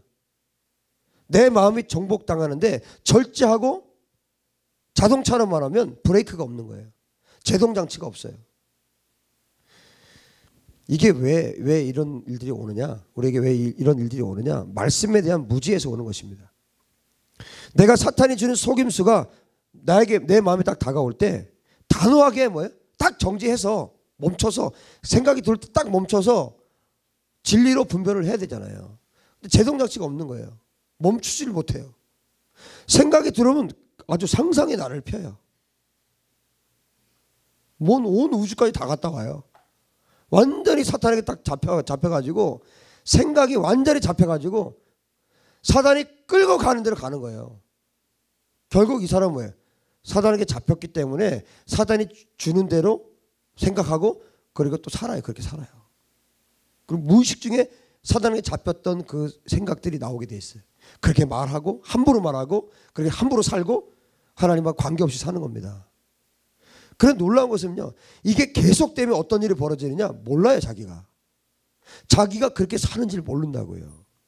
자기가 사단이 주는 생각에 영향을 받고 그렇게 악하게 사는 것을 모른단 말이에요. 그럼 결국 어떻게 삽니까? 죄 짓는 자리로 계속 가는 거예요. 죄 가운데로 계속 가는 거예요. 결국 하나님 하나님 앞에서 결국 뭐예요? 심판받게 되는 거예요. 결국 사망으로 가는 것입니다. 그게 계속 쌓이지 어떻게 될까요? 죽음으로 가는 겁니다. 온갖 생각이 뭐예요? 죽음으로 가득 차요. 우울하고요. 더러운 생각으로 가득하고요. 악하고요. 이런 생각으로 완전히 사로잡혀 살게 되는 거예요. 영혼육이 완전히 사로잡혀서 살게 되는 겁니다. 여러분, 제동장치가 없을 때 완전히 그렇게 사탄에게 삼킴 당해서 살게 되는 것이죠. 사탄이 어떤 마음을 줄때 내가 이 마음에 대해서 멈춰 서서 생각하고 생각하는 것 중단하고 말씀의 빛에 비추어 봐야 돼요. 성경이 뭐라고 말하고 있는지. 이런 경우에 성경은 뭐라고 말하고 있는지. 하나님께서 원하시는 것이 무엇인지 말씀에 비춰볼 수 있어야 합니다. 그런데 사탄이 주는 마음에 대해서 제동장치가 없고 브레이크가 없는 사람들은 절제함이 없고 조급해서 감정대로 따라가고 거의 사탄에게 속아서 넘어갑니다. 사탄은 어차피 끊임없이 우리를 공격합니다. 우리의 마음이 가장 중요하기 때문에 계속해서 우리를 공격해. 야, 너, 너 위해서 이거 필요하잖아. 에이, 좀 써. 너를 위해서. 너를 위해서 돈 써야지. 사단이 공격하는 거. 돈으로 공격합니다. 돈에 대해서 여러분의 마음을 공격할 것이고 또 여러분의 이기적인 마음에 대해서 공격할 것입니다. 야 이렇게 살면 너 엄청 손해 보는 거야. 봐봐 이렇게 사는 사람 어딨냐 엄, 야 너처럼 그렇게 사는 사람 어딨냐 아이 교회가 따뜻한 데로 가 따뜻한 데로 추운 데 있지 말고 야 내년 여름 엄청 덥대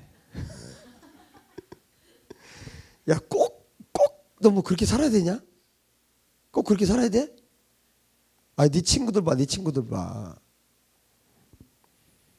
야 너만 매일 고생하고 헌신해야 되냐? 이런 마음으로 사탄이 찾아올 것입니다. 여러분 통과하셨죠? 이제 사탄이 여러분의 마음을 가장 크게 장악하는 것 중에 하나가 돈과 자기를 사랑하는 이기적인 마음이에요. 돈에 잡히게 합니다. 그리고 이기적으로 이기적인 자기를 사랑하는 삶을 살게 합니다. 사단이 잡는 마음. 예수님과 이웃을 사랑하지 못하게 하는 이기적인 마음과 돈에 대한 집착, 돈에 대한 사랑하는 마음으로 우리를 가장 많이 공격합니다.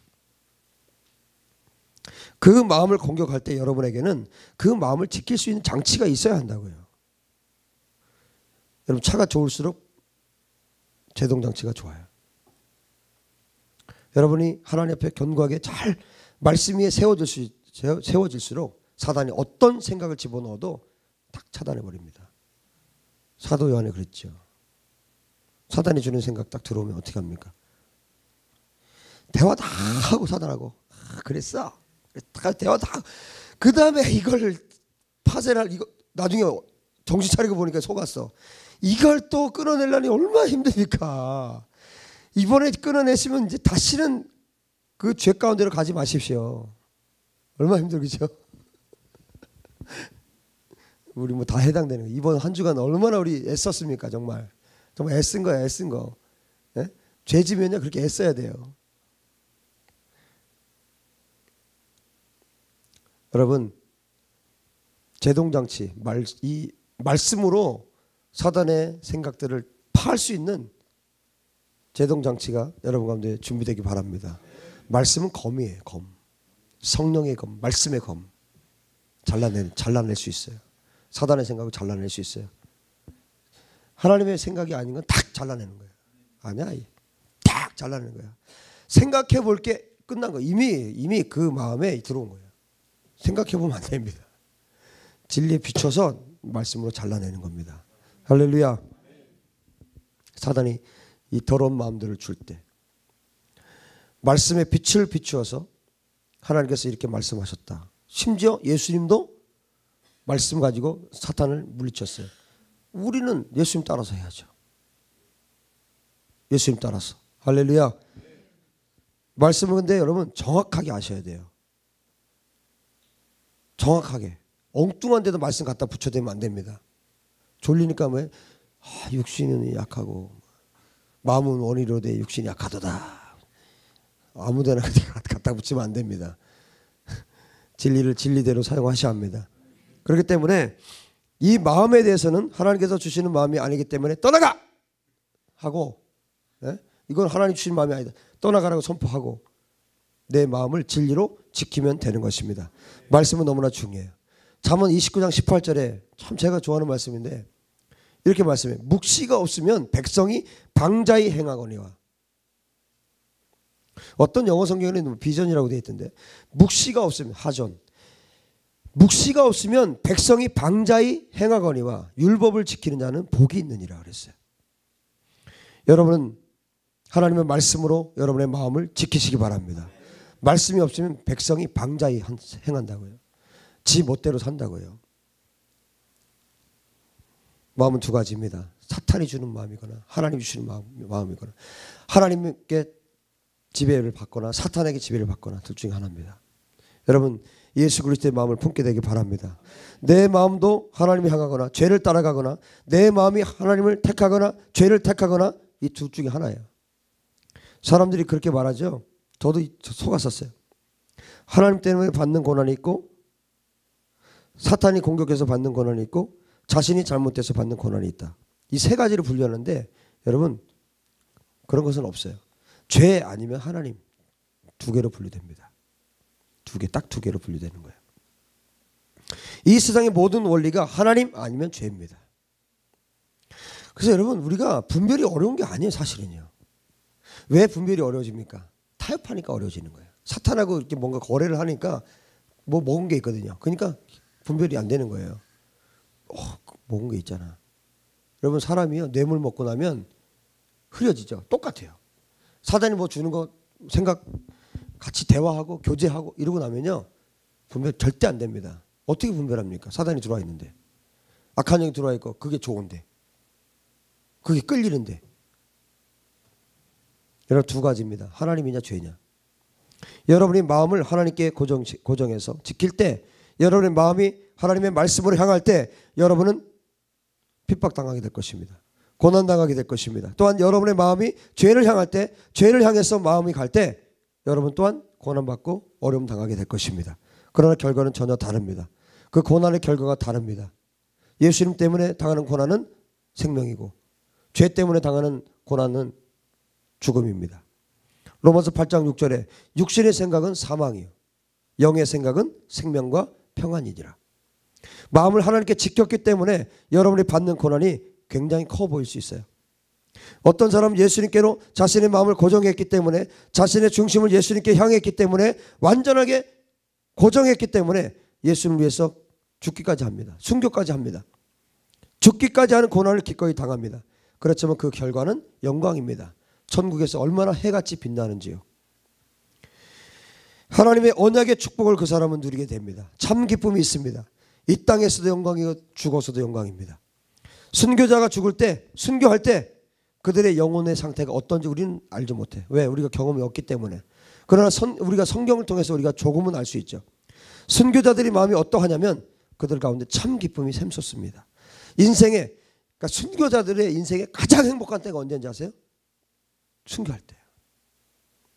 인생 전체를 통해서 가장 행복한 순간이 순교하는 그 순간이에요. 참 기쁨이 샘솟습니다. 순교자의 인생에 가장 영광스럽고 하나님을, 하나님으로 위해서 가장 영광스러운 그 순간 가장 행복한 순간 가장 기쁜 순간 그때가 예수님 때문에 죽는 그 순간이에요 예수님의 이름 때문에 내가 예수님께 마음을 정했기 때문에 고난을 받는데 그 고난에 대해서 그 고난의 결과가 우리가 상상할 수 없는 행복과 기쁨이라는 것입니다 순교가 어떤 것인지 예수님을 통해서 스테반 집사님을 통해서 우리가 봅니다. 말씀에 기록되어 있죠. 그 기쁨이 얼마나 컸던지. 스테반 집사님은 사도행전 6장 15절에 보니까 천사의 얼굴과 같았다고 그어요또 자신을 맞이하러 오시는 하나님 우편에 서신 예수님을 보았어요. 그분에게 기쁨이 있었어요.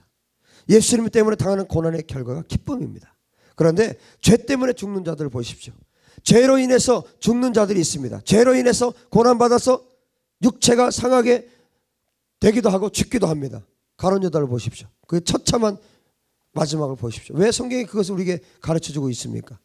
죄의 결과를 보라는 거예요. 죄의 결과가 그렇게 비참하다는 것입니다. 하나님께서 죄에 대한 결과로 죽이시기도 합니다. 그 죽음의 결과들을 보십시오. 그들에게 그렇게 비참한 죄로 인해서 죽는 자들의 죽, 그 죽는 그 사람들에게 스테반 집사님과 같은 그런 기쁨이 있습니까? 그들에게 따라오는 것은 죽음에 따라오는 것은 비참함밖에 없습니다. 손가락질입니다. 여러분 가론주다를 지금 여러분 우리가 지금 어떻게 생각하고 있습니까? 또한 그 영혼에 가득 찬 두려움, 죽음에 대한 공포, 이런 절, 절망과 괴로움 가운데 그들은 죽게 됩니다. 죄에 대한 고난으로 결국 그렇게 죽게 됩니다.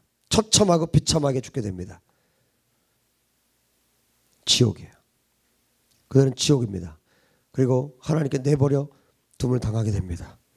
그러나 하나님의 마음을 지켜서 하나님을 따라다가 고난 받는 자의 결과는 면류가 아니고 상급이고 하늘에 가득한 상급으로 채워지는 것입니다.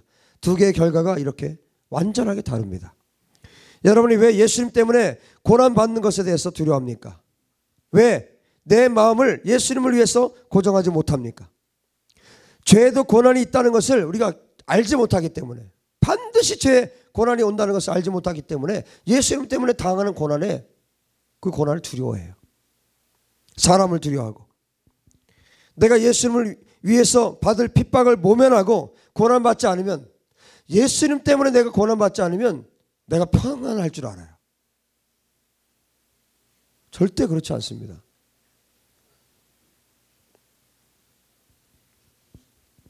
그런데 예수님을 배척한 예수님을 위해서 고난 받는 것을 배척한 결과로 여러분 반드시 죄에 대한 결과가 온다는 것을 고난이 온다는 것을 기억하십시오. 여러분이 어두워질 것이에요. 근심으로 가득 차 가득 차고 여러분 근심으로 가득 차는 것은요 아주 작은 죄에 대한 결과로 찾아오는 고난이에요. 여러분 근심이 오죠?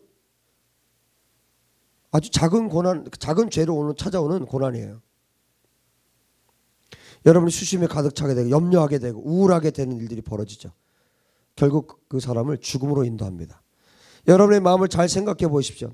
내가 나를 사랑하는 마음으로 나를 위해 무언가 피요를 채우고 물질을 사용할 때 나를 위해서 나의 피요를 채우고 무엇인가 얻기 위해서 내 마음을 채웁니다. 또한 내가 하나님을 섬기는 일에 대해서 힘들어하고 이웃을 위해서 섬기는 것을 힘들어하고 어려워하고 무언가 섬김의 대가를 바랍니다. 사탄이 여러분을 이렇게 공격할 것이에요. 사탄이 여러분의 마음을 계속해서 흔들 것입니다. 그럴 때 여러분이 무엇을 해야 되느냐? 여러분이 사단이 흔들 때 무엇을 해야 되느냐? 그때 하나님 말씀 보셔야 돼요. 어렵죠. 처음에는 어려워요. 어렵습니다. 마음이 막 산란하고 요동하고 막 이렇게 움직이면요. 성경 보는 거 어려워요. 그런데요, 여러분, 그때 의지를 쓰는 거예요. 오, 어, 그 뒀다 뭐 하게 해요. 의지 뒀다 뭐 하게 해요. 그때 의지를 쓰는 겁니다. 죄 짓는데 의지, 의지 쓰는 게 아니, 것이 아니라 그때 내 의지를 발휘해서 성경을 펼치고 읽기 시작하는 거예요. 반드시 하나님께서 역사하십니다. 그리고 여러분 우리 그 성경 읽기 가지고 성경을 읽, 죠 여러분 꾸준히 읽으세요. 놀랍게 하나님이 만지세요. 그냥 순, 순서대로 있는 성경을 읽을 뿐인데 내삶 가운데 어려움이 올 때요. 그 말씀이 정확하게 나를 나에게 말씀하세요. 정말 놀라워요. 성경을 꾸준히 읽지 못하는 사람들은 이거 경험 못 합니다. 어, 이거 정해진 거 오늘 뭐 어디 몇장몇절 이렇게 있잖아요. 그걸 읽는데 그 말씀으로 나를 격려, 그 말씀으로 나를 세우고 그 말씀으로 나를 새롭게 하세요. 왜 그런지 아세요? 말씀 성경 66권 전체는 연결되어 있어요. 하나님 말씀 성경 66권 전체는 살아 있어요. 하나님 말씀입니다. 그래서 그 역사가 일어나는 거예요. 그래 여러분 더 마음이 기쁘려면 어떻게 하면 되냐면 하나님이 나를 위해서 이 말씀을 이렇게 정확하게 하셨구나. 그 마음이 훨씬 더 기뻐요. 하나님 너무 야 어떻게 이날 나에게 이 말씀을 그 정해져 있는 말씀인데도 정확하게 나를 위해서 이 말씀 을 주셨을까? 하나님 또 그렇게 하신 거니까, 그죠? 그날 안 읽어봤어 봐요. 그냥 끝나는 거 아니에요. 근데 그 성경 읽었잖아요. 하나님 역사하세요. 분명히 역사하세요. 여러분 사단이 여러분을 공격할 때 어떻게 하라고요? 말씀으로 가십시오. 성경을 보십시오. 말씀을 통해 무엇라고 하시는지, 무엇라고 말씀하시는지 여러분이 생각한 후에 여러분의 마음을 어떻게 지킬 것인지를 결정하시면 됩니다. 여러분에게 다가오는 마음에 대해서 하나님의 말씀을 따라가면서 마음을 지킬 것인지 아니면 사탄이 준 마음을 가지고 있을 것인지 이것을 결정하면 되는 거예요. 하나님께로 결정하십시오. 말씀으로 결정하십시오. 하나님을 따라가기, 예수님 따라가기로 결정하십시오. 이 두 가지의 결정에는 동일한 그러니까 고난이 따를 것입니다. 동일하게 고난이 올 것입니다. 그러나 결과는 완전히 반대됩니다. 성경의 인물들이 고난을 받았어요. 그런데 우리가 얘기하죠. 그들은 정말 특별하게 고난을 받았다고 말해요. 정말 어려운 고난을 받았다고 얘기합니다. 하나님 때문에 핍박받았다고 얘기합니다. 그런데 여러분 기억하십시오. 하나님의 이름을 위해서 핍박을 받지 않는 모든 자들은 죄로 인해서 고난을 받고 죄로 인해서 핍박받고 죄로 인해서 죽게 될 것입니다. 계속 말씀드립니다. 이 두 가지밖에 없습니다. 여러분의 마음을 결정하십시오. 모든 순간에 그렇게 하십시오. 마음에 찾아오는 생각에 대해서 모든 순간에 여러분의 마음을 하나님께로 지킬 것인지 아니면 사단에게 빼앗길 것인지 결정하십시오. 여러분 결국 우리는 무엇을 결정합니까? 하나님께 마음을 두기로 말씀에 내 마음을 두기로 결정하시길 축복합니다. 그 결과는 고난이 될 것이고 그 고난의 결과는 두 가지 생명과 죽음 두 가지로 갈리게 될 것입니다. 우리가 고난이 찾아올 때 우리는 아직 참 고난을 아직은 맛보지 않았다는 것을 기억하십시오. 여러분 지금까지 인생을 살면서 평생을 사시면서 많은 고난이 있었을 거예요. 어려움이 있었을 겁니다. 특별히 또 예수님을 섬기는 것 때문에 여러분이 박해를 받고 또 고난을 받고 이런 일들이 있었을 것입니다. 그러나 참 고난은 아직 오지 않았어요. 진짜 고난은 아직 아- 오지 않았습니다. 정말 엄청난 고난이 고난은 아직 우리 가운데 찾아오지 않았습니다. 예수님의 이름을 위해서 핍박받는 일까지 정말 여러분 정말 박해받았습니까? 아, 그때는 그게 엄청난 핍박이라고 생각했는데 생각해보니 아니에요. 엄청난 핍박은 아직 없어요. 그죠? 우리 가운데 없습니다. 예수님을 위해서 내가 모욕당하고 여러분 침뱉음 당하고 해보셨습니까? 그럼 침뱉음 당하고 모욕당하고 이런 고난을 맛보셨습니까? 아직 그런 고난은 없잖아요. 나를 날 죽이려고 그러고, 에? 예? 고난을 이런 고난을 아직 맛보지 못했어요. 이것을 맛볼 때, 이 기쁨을 맛볼 때, 이 핍박을 맛볼 때, 여러분 계속 지금 병행해서 제가 말씀드리죠. 이것을 맛볼 때, 이 기쁨을 맛볼 때, 이 핍박을 맛볼 때 같은 말이잖아다 같은 말이라는 거예요. 고난을 맛볼 때, 핍박을 맛볼 때, 이 기쁨을 맛볼 때, 다 같은 말이에요. 아멘. 여러분 정말 우리가 핍박 받을 때 진짜 참 기쁨이 우리 가운데 솟아날 것입니다. 여러분 마음이 예수님께로 완전히 결정될 때, 마음이 예수님께로 완전히 고정될 때 진짜 기쁨이 있습니다. 이것은 다른 거예요. 예수님께로 가긴 가야 되고 왜 지옥 갈 수는 없으니까 가긴 가야 되고 죄도 좋고 예수님께로도 가야 되겠고 죄로도 가야 되겠고 아니에요. 여, 여러분의 마음이 완전히 예수님께 드려질 때 여러분에게 오는 그 고난을 통해서 여러분이 참 기쁨을 맛보게 될 것입니다. 그리고 여러분이 참 기쁨 때문에 고난을 두려워하지 않을, 않을, 않게 될 것입니다. 여러분 진짜 기쁨이 솟아오르면요 고난이 두렵지 않아요. 핍박이 두렵지 않습니다. 절대 두렵지 않습니다. 기쁜데요. 기쁜데요. 매를 맞으면서도 기쁜데요.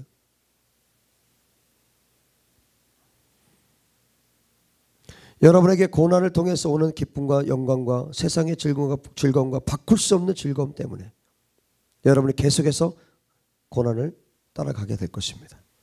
죽기까지 고난받는 것을 선택하게 될 것입니다.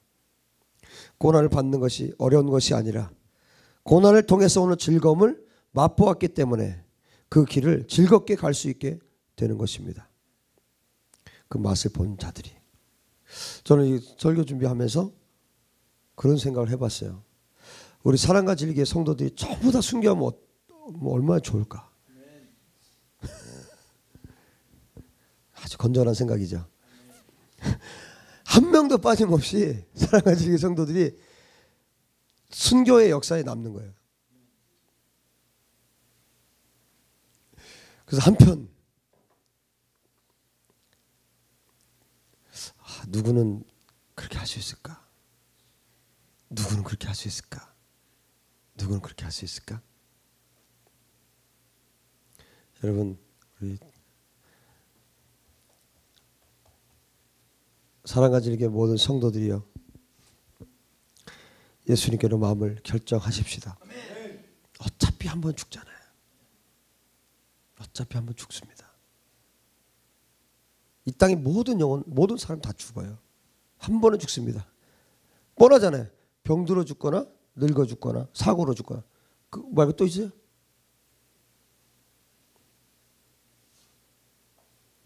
또 하나가 있습니다. 순교로 죽는 거. 우리 그리스도인들에게는 이 네 번째 죽음이 있습니다. 순교로 죽을 수 있는 거 저와 여러분의 마음을 예수님께로 결정하고 지킬 수 있게 되기 바랍니다. 고난 받는 것을 두려워하지 마십시오.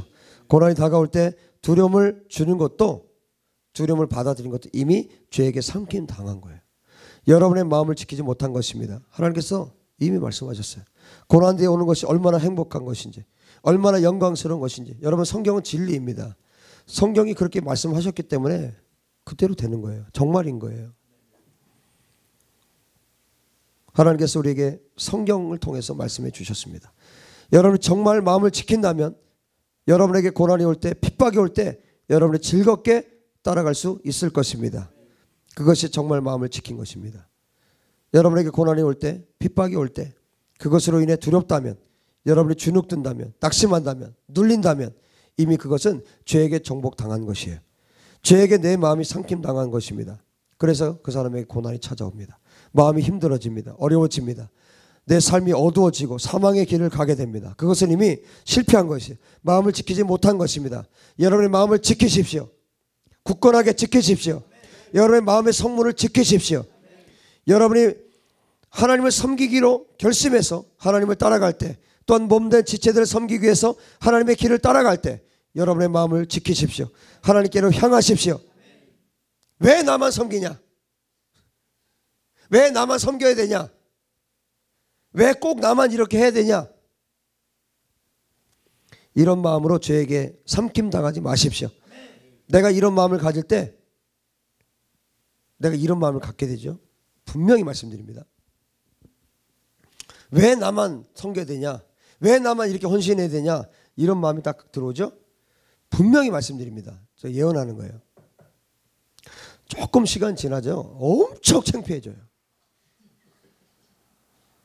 엄청 부끄러워집니다. 어우, 내가 왜, 내가, 내가 미쳤지. 어우, 내가 그걸 왜, 그걸 가지고 내가 뭐, 대단하게 섬기는 것처럼, 뭐 대단하게 엄청나게 하는 것처럼 부끄러워서 견딜 수가 없는 날이 금방 찾아옵니다. 며칠 지나지 않아서. 여러분, 사단에게 마음 뺏기지 마십시오. 여러분의 마음을 잘 지키기로 결정하십시오. 진리에 따라 여러분의 마음을 결정하십시오. 정말 놀라운 것은 여러분의 마음을 지킬 때 결정할 때 여러분의 마음을 지키려 결정할 때 어떤 일이 벌어지느냐? 내 영혼육이 그 결정에 따라서 움직인다는 거예요. 여러분 우리가 그 기도하잖아요. 내 영혼육은 성령님을 따라갈지어다. 성령님과 일치될지어다. 이 기도하잖아요. 여러분 그렇게 선포할 때 실제로 따라가요. 내가 내 마음을 지키기로 결정하잖아요. 그럼 내 영혼육이요 그 결정을 따라갑니다. 여러분 입술에 권세가 있습니다. 여러분 말에 권세가 있습니다. 우리가 그렇게 결정할 때 왜 그런 일이 벌어지지 않습니까? 내가 그렇게 결정할 때 그것은 누가 기뻐하는 결정입니까? 하나님께서 기뻐하시는 결정이기 때문에 영적인 세계에서 누가 움직이시는 거예요? 하나님이 역사하시는 거예요. 내가 마음을 빼앗길 때 그때는 어떻게 됩니까? 사단이 움직이는 거예요. 사단이 사단이 역사하는 거예요. 사단이 완전히 장악당하는 겁니다. 여러분의 입술로 선포하십시오. 내가 하나님을 따라가기로 내 마음을 지키기로 결정한다. 선포할 때 하나님께서 역사하실 줄로 믿습니다. 네. 여러분 도와주실 줄로 믿습니다. 정말 그때 내가 즐거움으로 복음을 전할 수 있게 되고 내가 참 기쁨으로 하나님 따라갈 수 있게 되는 것이죠. 여러분의 마음이 하나님께 지켜질 때 영적으로 여러분 어떤 일이 일어나는지 아십니까? 여러분 여러분 하나님 하나님 앞에서 여러분의 마음을 딱 지킬 때 기억하십시오. 여러분의 발로 사탄의 목을 밟는 거예요. 그때 밟는 겁니다. 마음 빼앗기면 우리가 밟히는 거고 내 마음을 지키면 우리가 사단의 목을 그때 밟는 거예요. 여러분 내 마음을 딱 지켜서 내가 사단의 목을 딱 밟고 서 있는 것을 보셔야 돼요. 하나님께서 보여주시기 바랍니다. 사단의 목을 딱 밟고 서 있는 실제로 영적인 세계 안에 이런 일들이 일어납니다. 하나님을 섬기는 것은 정말 어려워. 너 이거 어렵잖아. 너 이웃 섬기는 거 어렵잖아. 너만 이렇게 힘들게 하고 있잖아. 이렇게 사는 사람이 어딨냐? 그리고 가장 큰 거짓말. 적당히 해라. 이건 사람을 통해서도 직접 그렇게 공격하잖아요. 그죠? 집사님, 적당히 좀 믿어. 아유, 뭐, 집사님 혼자 신앙생활 해? 아휴참 미련하게 그렇게 그렇게 그렇게까지 할 필요 없잖아. 여러분, 그 한번 생각해 보세요. 적당이라는 게 있습니까? 절대 없어요. 적당이라는 건 없습니다. 여러분, 적당히 신앙생활 하는 자들은요, 제가 단언컨대, 단언컨대, 거듭나지 않은 자예요. 맞죠? 적당하게 신앙생활한다. 적당하게 예수님 믿는다. 거듭나지 않은 자입니다. 확실합니다. 100%. 적당히는 없습니다. 하나님이거나 죄거나 둘 중에 하나밖에 없는데 적당히 절대 없습니다. 적당히 하는 자들은 이미 하나님의 길을 떠난 자들이에요. 하나님을 택한 자들이 아닙니다. 하나님을 택한 자들이 아닙니다. 하나님을 선택한 자들이 아닙니다. 예수님을 입으로 시인하면서 하나님을 내가 이해하고 안다고 말하면서 행위가 따르지 않는 자들은 불순종의 아들들이에요. 야고보서 3장 26절에 영혼 없는 몸이 죽은 것 같이 행함이 없는 믿음은 죽은 것이다. 하나님의 진노가 불순종의 아들들에게 임합니다. 에베소서 5장 6절. 사탄이 여러분을 공격할 때 여러분의 말씀으로 마음을 지켜서 나는 하나님을 사랑하고 나는 내 이웃을 사랑해. 나는 이기적인 사람이 아니야. 나는 이기적이지 않아. 난 그렇게 살고 싶지 않아. 나는 죽었기 때문에. 나는 십자가에 죽었고 예수 그리스도의 부활에 동참한 자야. 나는 생명을 따라가는 자야. 그렇게 여러분이 선포할 때 여러분의 영혼적인 말씀에 순종하여 따라가게 되는 것입니다. 행위들로 나타나게 되는 것입니다. 그때 그렇게 속이던 사탄은 여러분의 발 아래 있을 것입니다.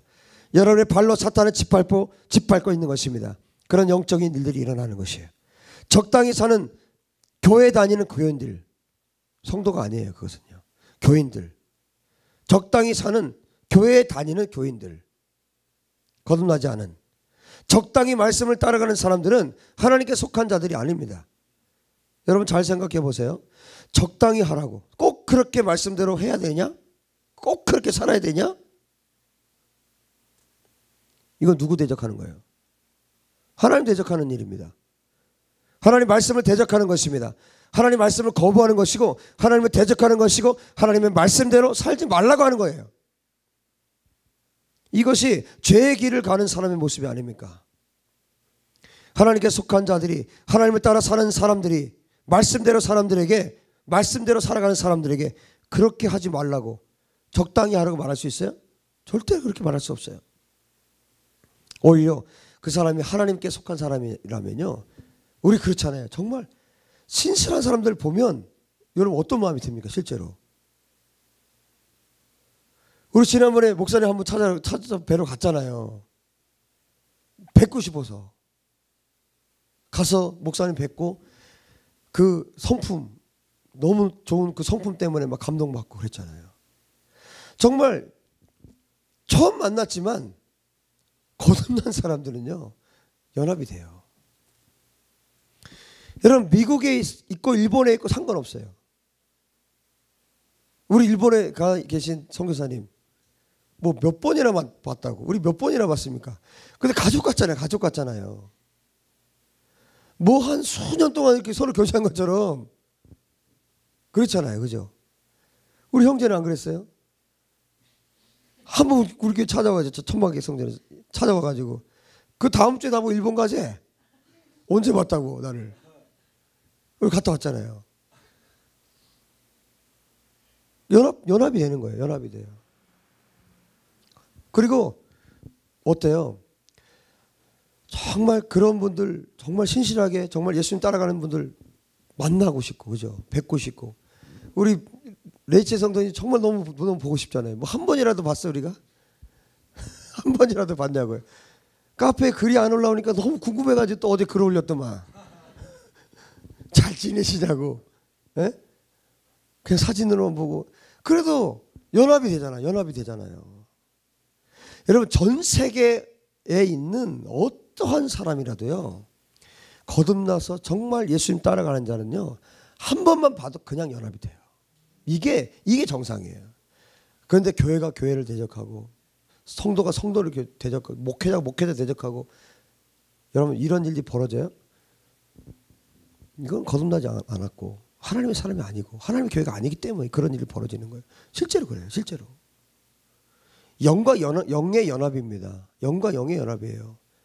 그렇기 때문에 영이 알아요. 혼적으로 모르 생각으로 아는 게 아니라 내 영이 안단 말이에요. 영과 영이 끌리는 거예요. 성령 안에서 연합을 시키시는 거예요. 하나님께서. 정말 우리가 예수님 따라가는 사람은 예수님 따라가는 사람 보면 어때요? 도전 받고요. 그게 무슨 뭐 또 시기하고 질투 이게 아니에요. 그죠? 예? 아, 나도 저렇게 살았으면 좋겠다. 이렇게 가는 거지. 저거는 분명히 교통나지 않은 자예요. 뭐 목사님한테 잘 보이려고 저러는 거지, 저거. 아휴. 그 수준이 생각하는 것 자체가 그 목사님도 잘 보여서 뭐 하려고요.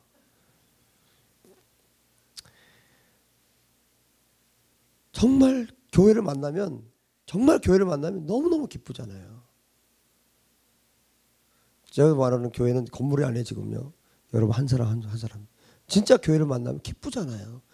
그리고 막 그렇게 사는 모습을 보면서 예수님을 위해서 목숨 걸고 사는 모습을 보면 막 도전이 되고 정말 감사하다고 찬양이 나오고 기쁨이 손 샘솟고 그분 때문에 아 나도 이렇게 살아야지 나도 이번처럼 살아야지 저도요 저보다 나이가 어린 분들 어린 분들 중에서도 그렇게 사는 사람 나이에 관계 없어요 그거든요 정말 그렇게 하나님 앞에 사는 분들 보면 막 도전이 되고요 야난 저 나이 때 뭐했나 이러고요 야, 내가 더 내가 영적으로 내가 더 깨어 있어야 되겠구나. 더 내가 하나님 앞에 나가야 되겠구나. 막 이런 마음이 생기고 그렇게 사람을 더 격려하게 되고 축복하게 되고 이렇게 되는 거예요. 근데 적당히 살라고요. 왜 이렇게 유별나냐고요? 거듭나지 않았기 때문에 그런 말을 하는 거예요. 어디 그런 말이 어떻게 나옵니까? 하나님을 대적하는 죄를 따라 사는 자들이 훨씬 더 교회 안에 많아요. 아픈 현실입니다. 교회 다니는 사람들 중에 교인들 중에 하나님 대, 대적하는 자리 더 많다고요. 이, 이 사실인 걸 어떻게 해요? 실제로 그런 걸 어떻습니까? 어떻게, 어떻게 합니까? 그러니까 뭐예요? 교회가 교회를 대적하고 목회자가 목회자 대적하고 성도들이 목회자 대적 이런 일들이 그냥 막 일어나잖아요. 교회 안에서 대적하는 일들이 일어납니다. 그러나 여러분 기뻐하십시오. 교회 안에서 고난 받을 때 고난받지 않는 것처럼 보이는 모든 자들은 죄로 인해서 이미 고난받고 있어요. 뭐 기뻐할 일은 아니지만 위로를 받으시라고요. 그 때문에 막 아파하지 말고 아, 나를 대적하고 왜 이렇게 힘들게 하고 그것 때문에 아파하지 말고 그들은요 죄 때문에 더 큰 고난 가운데 있어요. 그런 것으로 여러분 마음에 어, 아프 아파하거나 괴로워하지 마십시오. 여러분 예수님을 위한 고난을 받게 되길 바랍니다. 죄 때문에 고난 받지 말고 예수님을 위해서 고난 받는 삶을 사랑과 즐기 모든 성도들이 살게 되길 바랍니다. 여러분의 마음을 예수님께 고정함으로 그것들을 감당하십시오. 그래서 그 즐거움을 맛보십시오. 사도들이 자신의 목숨을 버리면서까지 고난과 핍박을 받으면서도 예수님의 복음을 더 멀리 전할 수밖에 없었던 그 즐거움들을 경험하십시오. 고난이 있지만 더 말씀의 확장을 위해서 나아갈 수 있었던 그 이유, 그 원동력. 고난에서 찾아오는 핍박으로 찾아오는 핍박에서 찾아오는 참 기쁨, 참 즐거움을 맛보시기를 주의 여러분 축복합니다. 여러분이 예수를 위해서 고난받고 핍박당할 때 여러분에게 참 기쁨이 생깁니다. 그래서 더 예수님을 전하는 일들이 일어납니다. 즐거워서 더 복음을 전하게 되는 것입니다. 이번에 일본 가서도 우리 길거리 다니면서 전도합시다. 복음 전합시다. 예배하고 길거리 다니면서 우리 찬양하고 예? 막 손가락질하고 뭐. 전천에서 손가락질하고 예? 그렇게 즐거워서 복음을 전하면 전하게 되고 또 전하면 여러분 기뻐하십시오. 더 큰 고난이 찾아옵니다. 그런데 그 사람은 알아요. 뭘 알아요? 그 고난을 통해서 아 이번에 고난이 이게 큰 거 보니까 영광이 더 크겠구나 이걸 아는 거예요. 오늘 처음 오셨는데 굉장히 부담스러우시겠어요, 그죠? 근데 아마 여기까지 오신 거 보니까 예, 뭐 보통 마음 갖고 오신 건 같지는 않아요. 예, 찾아오기 힘들거든요. 정말 그 고난을 통해서 영광을 경험한 자들은 복음을 더 크게 전하게 되는 거예요. 더 확장시킵니다. 그때 그때 여호와의 영광이 임하시는데 고난의 영광이 임합니다. 영광이 임하면서 말씀이 온 세계로 전파되는 거예요. 여러분 사랑과 진리계 말씀 선포는 이렇게 돼야 합니다. 사도들이 했던 것처럼 고난을 통해서 사도를 통해서 예수님을 통해서 온 세상의 말씀이 확장됐죠. 여러분 이 동일한 역사가 우리 교회 가운데 일어나게 되길 바랍니다. 그 고난을 고난의 즐거움을 맛보았기 때문에 너무나 즐겁고 행복한 것을 맛보았기 때문에 더 크게 복음을 전하기 위해서 온 세상 열방으로 나갔던 사도들처럼 우리도 복음을 들고 나갈 수 있게 되는 것입니다. 그리고 온 세계 복음이 전해지는 복음의 부이 일어나는 위대한 역사가 저와 여러분 통해서 나타날 줄로 믿습니다. 여러분 오늘의 이 말씀을 가볍게 여기지 마십시오. 여러분 더 큰 고난을 받도록 기도하십시오. 할렐루야. 그래서 여러분이 고난의 참 기쁨을 맛보도록 기도하십시오. 고난의 고난의 예수 그리스도의 고난에 동참해서 그 기쁨을 경험했을 때그 기쁨을 경험한 사람만이 복음을 전할 수 있어요. 그리고 어떤 고난이 더 큰 고난이 와도 그 고난 속으로 들어갈 수 있습니다. 여러분 파도를 경험해 본 사람이 그 파도를 타는 사람들 보시, 보시죠. 파도를 경험하면 경험할수록 이 사람들은 어디로 가요? 더 큰 파도를 기대합니다. 왜? 더 재밌거든요. 더 기쁘거든요. 처음에는 조금만 파도가 조금만 찰랑거려도 막 죽을 것 같고 그러다가 이거를 누리기 시작하는 거예요. 고난을 누리고 왜 거기에 하나님께서 함께 하시기 때문에 나를 나를 그 파도 거센 거센 파도 집채많은 파도가 나를 삼킨다 할지라도 죽음은 뭐예요? 영광이는 거예요. 예수 그리스도 때문에 고난 받다가 죽으면 그게 영광인 거예요. 하늘의 면류관이 예비되어 있습니다. 할렐루야. 이것을 알았기 때문에 사도들이 그렇게 하나님 앞에 살 수 있었던 거예요. 순교자들이 그렇게 살 수 있었던 것입니다. 사도 바울이 신라와 함께 감옥에 가셨을 때 여러분 기억하시죠? 사도행전 16장에 어떻게 했습니까? 많이 때려서 가뒀다 그랬어요 성경에. 그런데 어떻게 했습니까? 반밤중이 한밤중이 되니까 그, 그 가슴 속에서 터져 나온 왜 알잖아 이 그 영광스러움이 얼마나 영광스러운지 알잖아요 바울이 그 기쁨이 어떤 건지 알잖아요 하늘에 지금 어떤 일이 벌어지는지 알고 있잖아요. 그러니까 뭐예요? 가슴이 폭파쳐 오르니까 찬양이 터지기 시작한 거예요. 바울과 신라가 막 찬양하기 시작합니다. 여러분 그냥 그냥 잔잔한 찬양 아니었어요. 어떻게 할수 있어요? 죄수들이 다 들었다고 성경 기록합니다. 죄수들이 다 그 찬양을 듣고 있어요. 새 노래로 하나님을 찬양합니다. 많이 맞고 지금 감옥에 갇혔어요. 그러면뭐 아파 죽겠다, 칠라 아프지 않냐, 괜찮냐, 너 난 죽을 것 같다, 나는 난 다리 부러진 것 같아, 뭐 이렇게 했을 텐데 그거 필요 없어요. 막 찬양이 터지기 시작하는데 막 피는 질질 나는데 찬양이 막 터지기 시작하는 거예요. 누구라고 할 것도 없어요. 동시에 막 찬양이 터지기, 터지기 시작합니다. 바울과 신라 막 찬양이 시작합니다.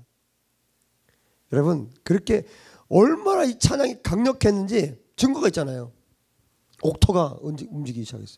지진이 일어났어요. 여러분, 여러분 우리 찬양 찬양하다가 지진이 일어난 적 있습니까? 한 번이라도? 나는 방바닥이라도 좀 찢어졌으면 좋겠습니다. 우리 찬양할 때 얼마나 중심으로 찬양했는지 옥토가 움직였어요. 문이 다 열렸어요. 그 죄수들을 묶고 있던 묶고 있던 것들이 사슬이 다 풀어졌어요. 여러분 찬양할 때 하나님 경배할 때 여러분 죄의 사슬이 풀어지는 겁니다. 악한 영들이 떠나가는 것입니다. 얼마나 하나님을 찬양했는데 하나님 아프지만 주님 찬양할게요. 그거 아니었을 거예요. 분명히 그죠? 하나님 내가 고통 중에 있지만 찬양할게요. 그거 아니었을 거예요. 없어요. 고난 없고요. 고통 없고요. 아픔 없어요. 자기 매 맞은 거 상관없어요. 뱃속에서 터진 거예요. 왜? 샘솟는 기쁨이 있으니까. 내가 주를 위해서 매를 맞았고 주를 위해서 내가 감옥에 갇혔고 주를 위해서 내가 핍박당했고 그 뱃속에서 터지는 기쁨이 있기 때문에 하나님 찬양했어요. 여러분 우리 하나님을 그렇게 찬양합시다. 그래서 이 그 이후에 어떤 일이 벌어졌습니까? 죄수가 다 도망간 줄 알았죠. 간수가 어떻게 했어요? 자결하려고 그랬어요. 멈추시요 우리가 여기 있어. 할렐루야 했겠죠. 그 뒤에 어떤 일이 벌어졌습니까? 간수가 예수 믿었어요. 내가 어찌할꼬? 내가 어떻게 해야 구원받으리까? 주 예수를 믿으라. 그리하면 너와 내 집이 구원을 얻으리라. 이, 이 놀라운 복음이 여기서 나온 거 아니에요. 예? 그 감옥에서 나온 복음 아니에요. 그 위에 또 어떤 일이 벌어졌습니까? 간수와 그 가족들 전부 다 세례받고 예수 믿게 됐어요. 복음이 더 크게 확장되었던 것입니다. 여러분 이런 역사가 저와 여러분의 삶 가운데 폭발적으로 일어나게 되기를 주의 이름으 축복합니다. 여러분 정말 단 한 번이라도 난 이 경험했으면 좋겠어요. 한 번이라도 정말 내 평생에 옥터가 움직이고 사실이 막 끊어지고 얼마나 찬양이 강력했으면 그런 일이 벌어졌을까? 아, 정말. 여러분, 이, 이 찬양을 하나님께 드립시다.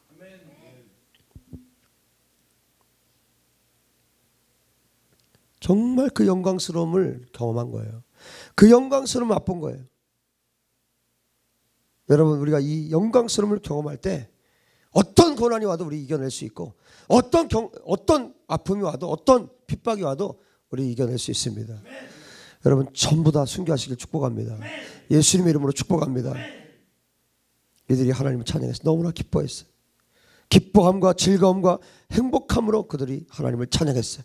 거기에 능력이 나타났던 것입니다. 지진이 나고 문이 다 열리고 모든 사람의 매인 것이 다 벗어졌다고 성경이 기록하고 있습니다. 여러분 이것이 어떻게 가능했습니까? 그들 안에 샘솟는 기쁨 때문에. 여러분, 우리의 마음에서 시작해서 결국 영광스러운 즐거움으로 끝이 납니다. 복음을 위한 고난, 예수를 위한 고난은 그렇게 끝이 납니다. 이것을 우리가 이것은 경험하지 않고는 우리가 할 수 없어요. 우리가 성경을 읽지만 이게 어떻게 다 느껴집니까? 내가 경험해봐야지. 성경의 내용을 읽고 우리가 알 수 없어요. 반드시 이거는 경험을 통해서만 이 성경은 다알 수 있습니다. 여러분 직접 직접 맛보아 알수 있게 되길 바랍니다. 여러분 작은 고난 때문에 괴로워하지 마십시오. 가족들이 핍박하는 것 그것은 아무것도 아니에요. 우리는 죽기까지 핍박받아야 합니다. 아멘. 여러분이 하나님 위해서 죽기까지 고난받든지 아니면 사탄에게 죽기까지 고난받든지 이 두 가지 삶밖에 없습니다.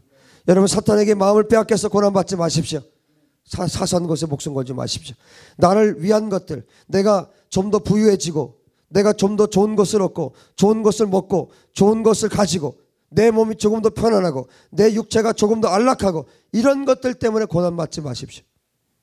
이런 죄된 본성 때문에 고난받지 마십시오. 이것은 너무나 불행한 일입니다. 이것은 저주의 삶입니다. 그 결과가 죽음이고 사망입니다. 여러분 마음을 예수님께로 완전히 고정하십시오. 그런 의미에서 우리를 비닐하우스로 부르신 하나님 찬양합니다. 우리를 천막 성전으로 부르신 하나님 찬양합니다. 여러분의 마음을 하나님께로 고정해서 고난을 받고 그 즐거움을 맛보고 말씀이 흥황하는 일에 선지자와 사도들의 삶에 우리가 동참하게 되기를 주의 이름 축복합니다. 예수 그리스도의 삶에 동참하십시오. 열방의 부흥의 중심에서 여러분 여러분 모두가 그 사역을 감당하십시오. 그러기 위해서 먼저 이곳에서 하나님의 부흥을 경험할 수 있게 되길 바랍니다. 바로 이 땅에서 이 예배 처소에서 하나님의 영적 부흥을 경험하십시오. 그리고 온 열방 가운데 천막을 세우고 그곳에서 또 부흥을 경험하십시오. 여러분 잘 기억하십시오. 교회는 건물이 아닙니다. 결코 건물이 교회가 될 수 없습니다. 교회는 예수 그리스도와 연합된 우리 자신이 교회입니다. 건물이 교회가 아닙니다. 언제나 교회와 교회는 연합하게 되어 있습니다. 아까 말씀드린 것처럼 어떤 나라에 있든지 정말 그 교회가 진짜 교회라면 그 사람이 진짜 교회라면 연합되게 되어 있습니다. 교회와 교회가 분쟁하는 것은 교회가 아니기 때문입니다. 여러분 교회가 건물이 교회입니까? 이 건물이 이 하우스가 교, 이게 교회입니까? 그러면 건물의 웅장함 건물의 웅장함이 교회입니까? 건물을 그러면 그 건물을 가진 교회는 웅장한 건물을 가진 교회는 위대한 교회입니까? 건물이 웅장하기 때문에 그 교회는 위대한 교회입니까? 웅장한 건물에 많은 사람이 모이기 때문에 위대한 교회입니까? 그렇지 않습니다. 건물은 절대로 교회가 될 수 없습니다. 여러분의 건물을 짓기 위해서 사랑과 진리교회가 건물을 짓기 위해서 절대로 돈을 쓰지 마십시오. 좋은 건물을 지어서 더 편안하게 기도하고 더 안락하게 예배하고 더 좋은 곳에서 내 몸의 편안함을 위해서 더 안락하게 더 안락하게 더 안락하게 결국 이게 뭐라고 배웠습니까? 그동안 계속. 하나님 뭐라고 말씀하셨어요? 이게 자기애라고요. 자기를 사랑하는 것이라고요. 자기를 사랑하는 죄라고요. 여러분 교회 성전을 안락하게 지어서 편안하게 기도할 수 있는 기도실을 지어서 편안하게 기도하면 기도가 더 잘 됩니까? 거기에 하나님께 하나님께서 더 강력하게 역사하십니까? 결코 그렇지 않아요. 하나님을 갈망하는 곳에 여호와의 불이 임하는 것입니다. 쓸데없이 자기 애를 위해서 자기를 사랑하는 것을 위해서 안락하게 예배하기 위해서 편안하게 예배하기 위해서 건물 짓는데 돈 들이지 마십시오. 지금 한국 교회는 파산 지경이에요. 빚으로 건물 짓다가 지금 파산 지경입니다. 한국 교회 빚이요 빚이요 얼마나 많은지 몰라요. 조단이에요, 조단이요.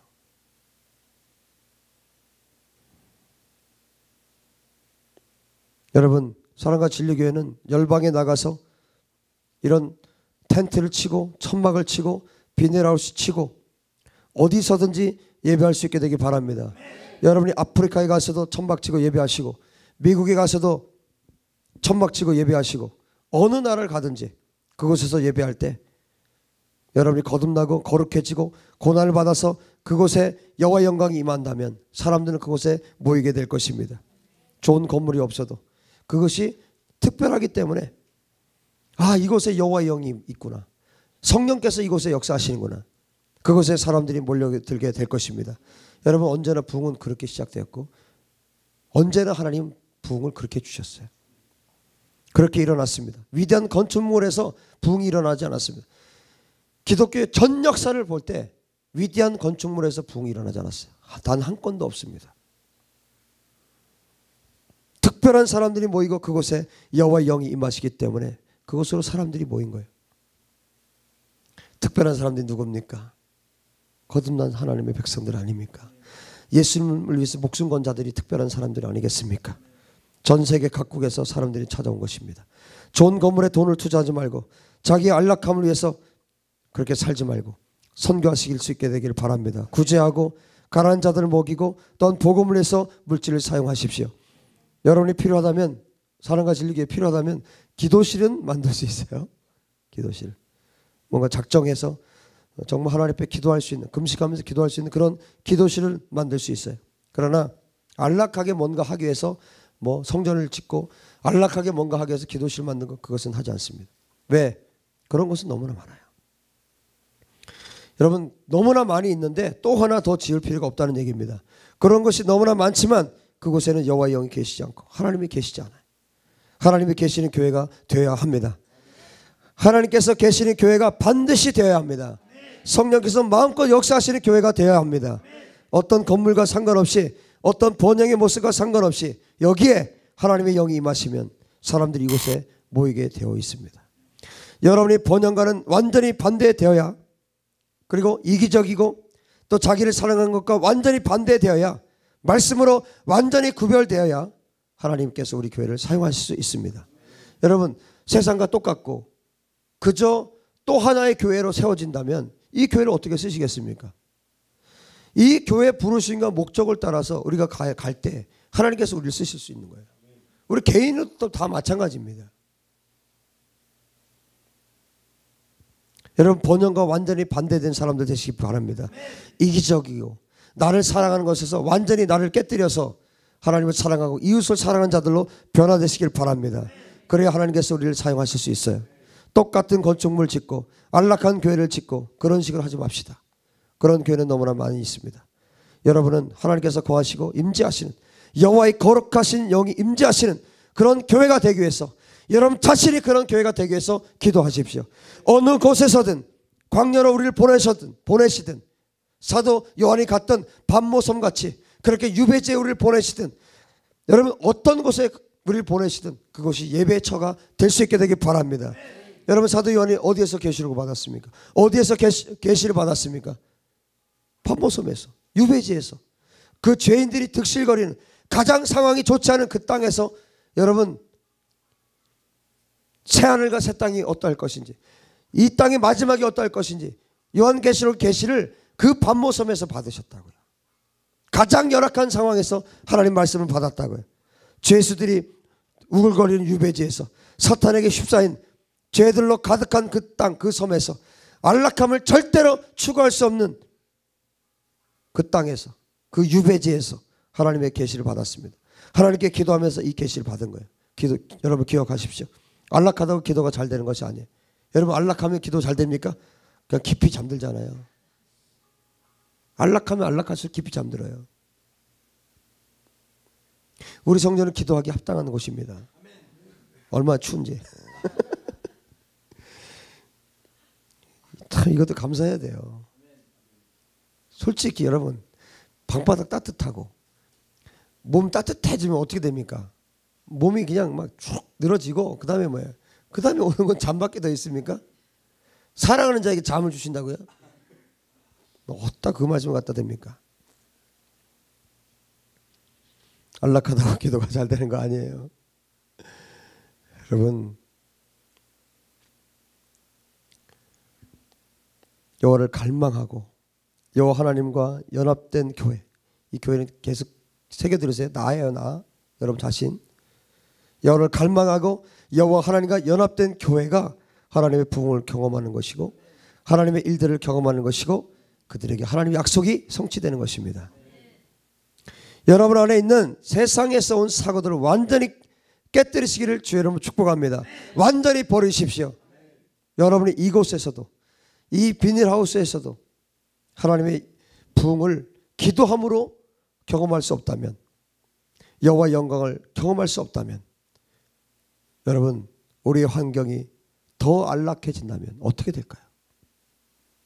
끝이야. 여러분 이제 설교 그만할래요. 네, 그만. 세상에서 온 모든 안락함을 추구하는 거, 번영 다 버립시다. 그리고 간절히 바라는 건 뭐냐면 제가 간절히 바라는 것은 여러분과 함께 정말 간절히 기도하고 싶은 것은 여기에서 부흥을 경험하자. 하나님 우리가 여기에서 붕을 경험하기 원합니다. 붕이 도대체 뭡니까 주님? 하나님이 부주시, 부어주신 붕이 도대체 무엇입니까? 우리 다 우리 그거 경험하고 싶습니다. 나 하나님이 부어주신 붕이 도대체 무엇인지 그 믿음의 선진들에게 뭐 웨일즈에 평양 평양에 있었던 그대부흥 도대체 무엇입니까? 지금 내가 경험하기 원합니다. 우리 교회가 경험하기 원합니다. 그리고 이 부흥이 이 대한민국과 열방으로 흘러가기 원합니다. 주님, 더 이상 안락함으로 내가 안락함을 내가 추구하는 삶을 살지 않겠습니다. 내가 예수님을 추구할 것입니다. 예수 그리스도를 위해서 고난 받는 것을 내가 추구할 것입니다. 그리고 하나님 내가 마음 빼앗기지 않겠습니다. 내 마음을 하나님께로 고정합니다. 예수 그리스도께 내 마음을 고정합니다. 그래서 단 한순간도 손톱만큼도 사단에게 내 마음을 빼앗기지 않을 것입니다. 내 마음 하나님 같이 가져가십시오. 하나님 내 안에 예수 그리스도의 마음으로 가득하게 도와주십시오. 예수 그리스도로 내가 가득 채워지게 도와주십시오. 여러분 기도하고 싶지 않습니까? 이 시간 전심으로 오늘 말씀 들은 이 내용들을 기억하시면서 하나님 내가 그렇게 하나님 앞에 고정되기 원하고 내 마음이 하나님께 고정되기 원하고 하나님 예수 그리스도를 위해서 내가 살기 원합니다. 내가 또 우리 사랑과 진리교회 모든 성도들이 이곳에서 하나님의 부흥을 맛보기 원합니다. 가장 열악한 순간에도 가장 좋지 않은 환경 속에서도 하나님께서 어떻게 그 환경 가운데 역사하시는지 사도 요한이 경험했던 하나님 경험하고 싶습니다. 하나님의 역사를 내가 경험하고 싶습니다. 우리 주여 세 번 크게 부르짖고 전심으로 하나님 앞에 기도합시다. 주여! 주여! 주여!